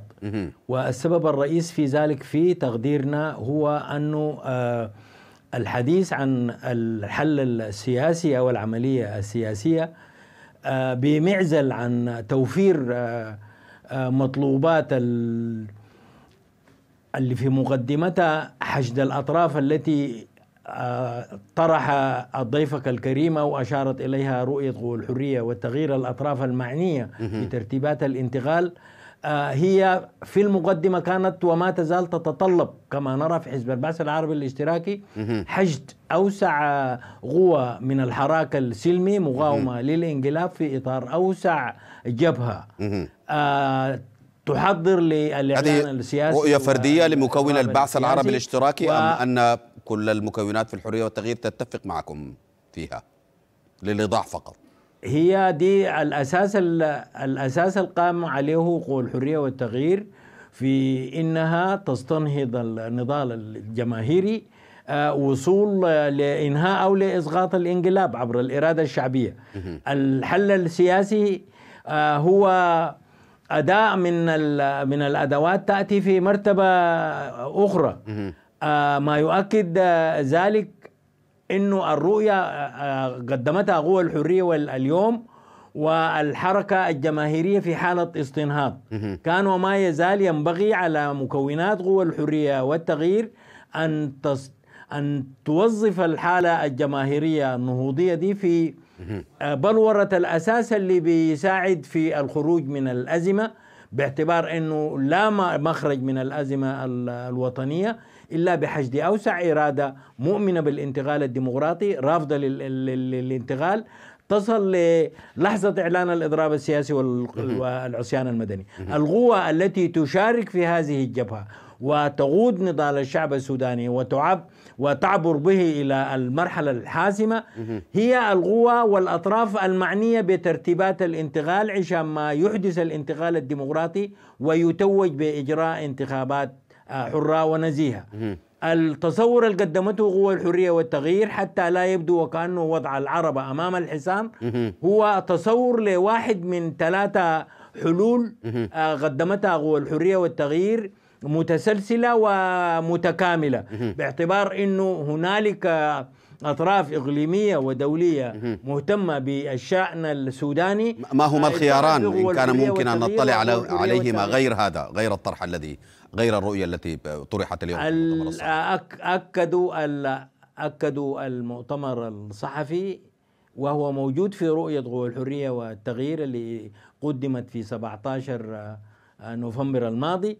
آه، هو العمل الجماهيري استنهاض العمل الجماهيري وبلورته في أوسع جبهة قوى الحرية والتغيير تكون أحد أطراف هذه الجبهة وهي تجيب على تساؤل ضيفك وعلى التساؤلات ال- الواسعه من يعطي آه، الحق لهذا الطرف؟ أو ذاك أن يغرر وما يغرر. الجبهة الواسعه اللي واحد من أطرافها قوى الحرية والتغيير هي التي تجيب على هذا السؤال وهي ال- المقدمة على ما سواها من وسائل نعم أخرى. قدمتها. قوى الحرية والتغيير. دكتور محمد زكريا كان لك يعني الرد وأستصحب بسؤال آه، أنكم تعتبروا عند الشارع وربما بالوقايع حلفاء للمكون العسكري حينما اتخذ اجراءات الخامس والعشرين من أكتوبر والتي يعتبرها طبعا الطرف الآخر الحرية والتغيير انقلابا وبالتالي السبب كان توسيع قاعدة المشاركة واحدة من الأسباب التي قدمها. الآن الجيش لا يتحدث عن عن توسيع قاعدة المشاركة وهو يمضي في تفاهمات وإن صارت غير آه، مباشرة أو غير رسمية مع طرف الحرية والتغيير. وبالتالي ما رأيكم؟ آه، نحن لسنا حلفاء إلا لبرامجنا ولسنا حلفاء إلا لرؤيتنا. آه، آه، اعذرني على الكلمة. سمها آه، شاركتم ربما وافقتم أو ربما كنتم سببا في الإجراءات التي اتخذها الجيش. واعتصام القصر يشهد على ذلك. إلى صدور قرارات الخامس والعشرين من أكتوبر التي أصدرها الرئيس مجلس السيادة عبد الفتاح البرهان هي الممارسات الشائعة للمجلس المركزي هي الوثيقة الدستورية المعيبة الثنائية التي وقعت في السابع عشر من أغسطس من العام 2019 والتي تسعى ذات المجموعة دون آه، يعني آه، تدبر في الماضي القريب والتاريخ القريب آه، لإعادة إنتاج ذات الشراكة ال- الثنائية آه، بوجه آه، جديد وإنما آه، إن تم ذلك إعادة لتدوير ال- الأزمة وعدم الاتعاظ من الأخطاء لذلك كان مطالبتنا ولا تزال بضرورة التوافق العريض أن لا نستثني إلا المؤتمر الوطني أن نعمل وفق أهداف الثورة السودانية لا لتنفيذ الأجندات الحزبية الضيقة الذين يعملون تحت واجهة الحرية والتغيير المجلس المركزي إنما آه، يسعون إلى تشكيل آه، المرحلة ما بعد الفترة الانتقالية. هي قوة آه، إقصائية. هي آه، قوة الاختطاف التي آه، تحاول أن تجير يعني الحراك الجماهيري لصالح أجندة آه، حزبية. دعني أشير آه،. إلى أن أمر السلام أمر لابد من احترامه ووضعه في الإطار الصحيح وأن لا قوة تستطيع أيضا أن تقول لا للاتفاقات بشكل مباشر أو حتى بشكل غير مباشر. هذه هي ثقافة المؤتمر الوطني المباد تنكبه ونقضه للاتفاقات وهذه القوى الاقتصادية. نعم واسمح لي بشكل سريع أستاذ محمد. يعني مسألة السلام واتفاق جوبا الكثير يتفق أن هنالك ربما بعض الإشكالات. الشرق الآن يهدد هنالك مشكلة في مسار الشرق. وأنتم ترفضون أي ربما محاولة أو معالجة لهذه الوثيقة التي ربما أفضت إلى واقع غير الهدف الذي من أجله تم التوقيع؟ هذه القضايا التي أشرت إليها وغيرها جاوبت عليها هذه الاتفاقية التي وجدت عداء صارخا منقطع النظير هو مستغرب ومستهجن من هذه القوى قوى الاختطاف وقوى التحميش. قضية شرق السودان قضية أساسية وخاطبناها وأكدنا على ضرورة قيام مؤتمر تتداعى إليه كافة المكونات في شرق السودان لتتفق حول كيفية الوصول لثقة مثلى لحل قضايا شرق السودان. وعلى ذلك هذه الاتفاقية نعم دكتور محمد. دول السلام السودان هي الأولى من نوعها. هي خاطبت قضايا الشمال وقضايا الوسط وقضايا الشرق وقضايا القرب وقضايا المنطقتين. آه بالتالي الذين آه يرفضون هذه الاتفاقية إنما يفتحون أبوابا للحرب. دعني أشير إلى موضوع الحراك الجماهيري. نحن آه نؤكد أن الشارع الآن السوداني هو منقسم والذين يتحدثون عن الشارع يجب أن يستصحبوا رؤية المتواجدون الآن في معسكرات الذل والنزوح. الذين يصبرون على تلك الأوضاع البائسة في كلمة وفي دارفور وفي المنطقتين الذين يتحدثون عن أنهم يمتلكون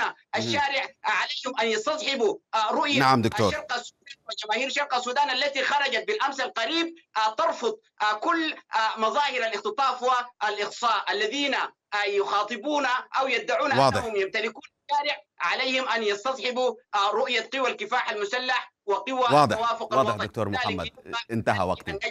الدكتور محمد زكريا نائب الأمين السياسي لحركة العدل والمساواة. الناطق الرسمي باسم الحرية والتغيير. اعذرني انتهى الوقت. كذلك شكرا للدكتور أو الأستاذ عادل خلف الله الناطق باسم حزب البعث العربي الاشتراكي وعضو المجلس المركزي لقوى الحرية والتغيير. شكرا لكما ضيفي الكريمين.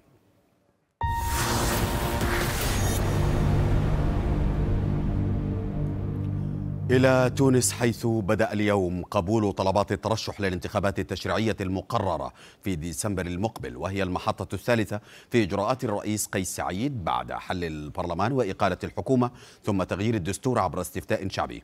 وقال رئيس الهيئة العليا المستقلة للانتخابات في تونس فاروق بوعسكر في مؤتمر صحفي إن مرحلة قبول الطلبات هي مرحلة مفصلية في المسار الانتخابي وتستمر حتى الرابع والعشرين من أكتوبر الجاري. وقال رئيس الهيئة العليا المستقلة للانتخابات إن القانون الحالي لا يمنع الأحزاب من ترشيح أحد أعضائها أو منتسبيها في الدوائر الانتخابية. ونفى أبو عسكر وجود أي نية أو أي نية في الوقت الحالي لتنقيح القانون الانتخابي الجديد. إمكانية تعديل القانون الانتخابي يبدو لي تذكر هيئة الانتخابات عبر ممثليها ناطق رسمي باسمها ولا باقي الأعضاء والسيد نائب رئيس الهيئة. كنا عربنا عن موقف قلنا راهو من المحبذ أن لا يقع المساس بالقانون الانتخابي في المسار الانتخابي وفي الفترة الانتخابية ويبدو لي فما استجابة وفماش تنقيح للقانون الانتخابي. على الأقل نحن انطلقنا اليوم في قبول الترشحات بالقانون الانتخابي كما صدر بتنقيحه مؤخرا. وللحظة هذه ما فماش يعني مؤشرات واضحة تدل على انه هناك نية تتجه إلى تنقيح القانون الانتخابي وهذا مسألة جيدة في اعتقادي. معنا من العاصمة التونسية القانوني والقيادي في التيار الشعبي الأستاذ جمال مارس أستاذ جمال الرئيس قيس سعيد كان قد تحدث ربما عن مشاكل في مسألة التزكية وأنها تفتح أبواب للمال الفاسد بحسبه وربما فهم الجميع أن هنالك ربما تعديلا ما واليوم سيد بوعسكر ينفي أي تنقيح لمسألة شروط التقدم للانتخابات. إذا كيف يمكن أن تحمى الفرضية التي طرحت من قبل؟ يعني قصر قرطاج أنها مشكلة كبيرة في مسألة الترشح خاصة ما يلي شق التزكية. مساء الخير تحية لكم وإلى كافة مشاهدي قناة الحدث. طبعا يوم السابع من هذا الشهر وخلال مقابلته لرئيس الحكومة عبر رئيس الجمهورية في خطاب وجهه إلى الشعب التونسي على أن المرسوم الانتخابي يتضمن بعض النقائص بعض الأخطاء ربما في خصوص شرط التزكيات. وعندما نزل هذا القانون إلى أرض الواقع وعلى مستوى الممارسة برز المال السياسي الذي فعل فعله في التأثير في الناخبين وخاصة في مسألة التزكيات. وكذلك يعني رؤساء البلديات وأذكر هنا أن تقريبا ثلثي البلديات المجالس المحلية والسلطة المحلية في تونس هي تحت حكم الإخوان. إذا حاولوا تعطيل تعطيل عملية التعريف بالأمضة وهناك شق آخر برؤساء البلديات أو أعضاء المجالس البلدية الذين يعني لهم من ترشح إلى الانتخابات فحاولوا حصر البلدية أو مسألة تعريف الأمضة أو توظيف المرفق العمومي في خدمة مرشحهم أو في خدمة شخصهم. هذا ما جعل رئيس الجمهورية يتحدث على إمكانية التعديل في اتجاه أو آخر. نحن كرجل قانون أقول أن التعديل تعديل القانون الانتخابي في السنة الانتخابية أو اثناء الفترة الانتخابية هو تقريبا مرفوض بناء على المعاهدات والمواثيق الدولية. التي تخير وتحبذ حفظا للنزاهة ولمبدأ الديمقراطية والشفافية وتكافل الفرص أن لا يقع تلقيح القانون الانتخابي أثناء أو في الزمن الانتخابي أو في الفترة الانتخابية. ولكن كحزب تيار شعبي وأمام ما قبل, قبل ذلك وخاصة إن كان ليس ليس هنالك تعديل أو تنقيح نعم. فيما يلي مسألة المال السياسي. ما هي الآليات البديلة؟ هل اما الامتثال للأمر الواقع؟ طبعا هناك هيئة الانتخابات التي لها مراقبين على أرض تقريبا عدد 80 ألف موظف هيئة الانتخابات لها مراقبين يرفعون المخالفات ويمكن أن محلفين يقومون برفع المخالفات وكل ما من شأن أن يحدث على الأرض.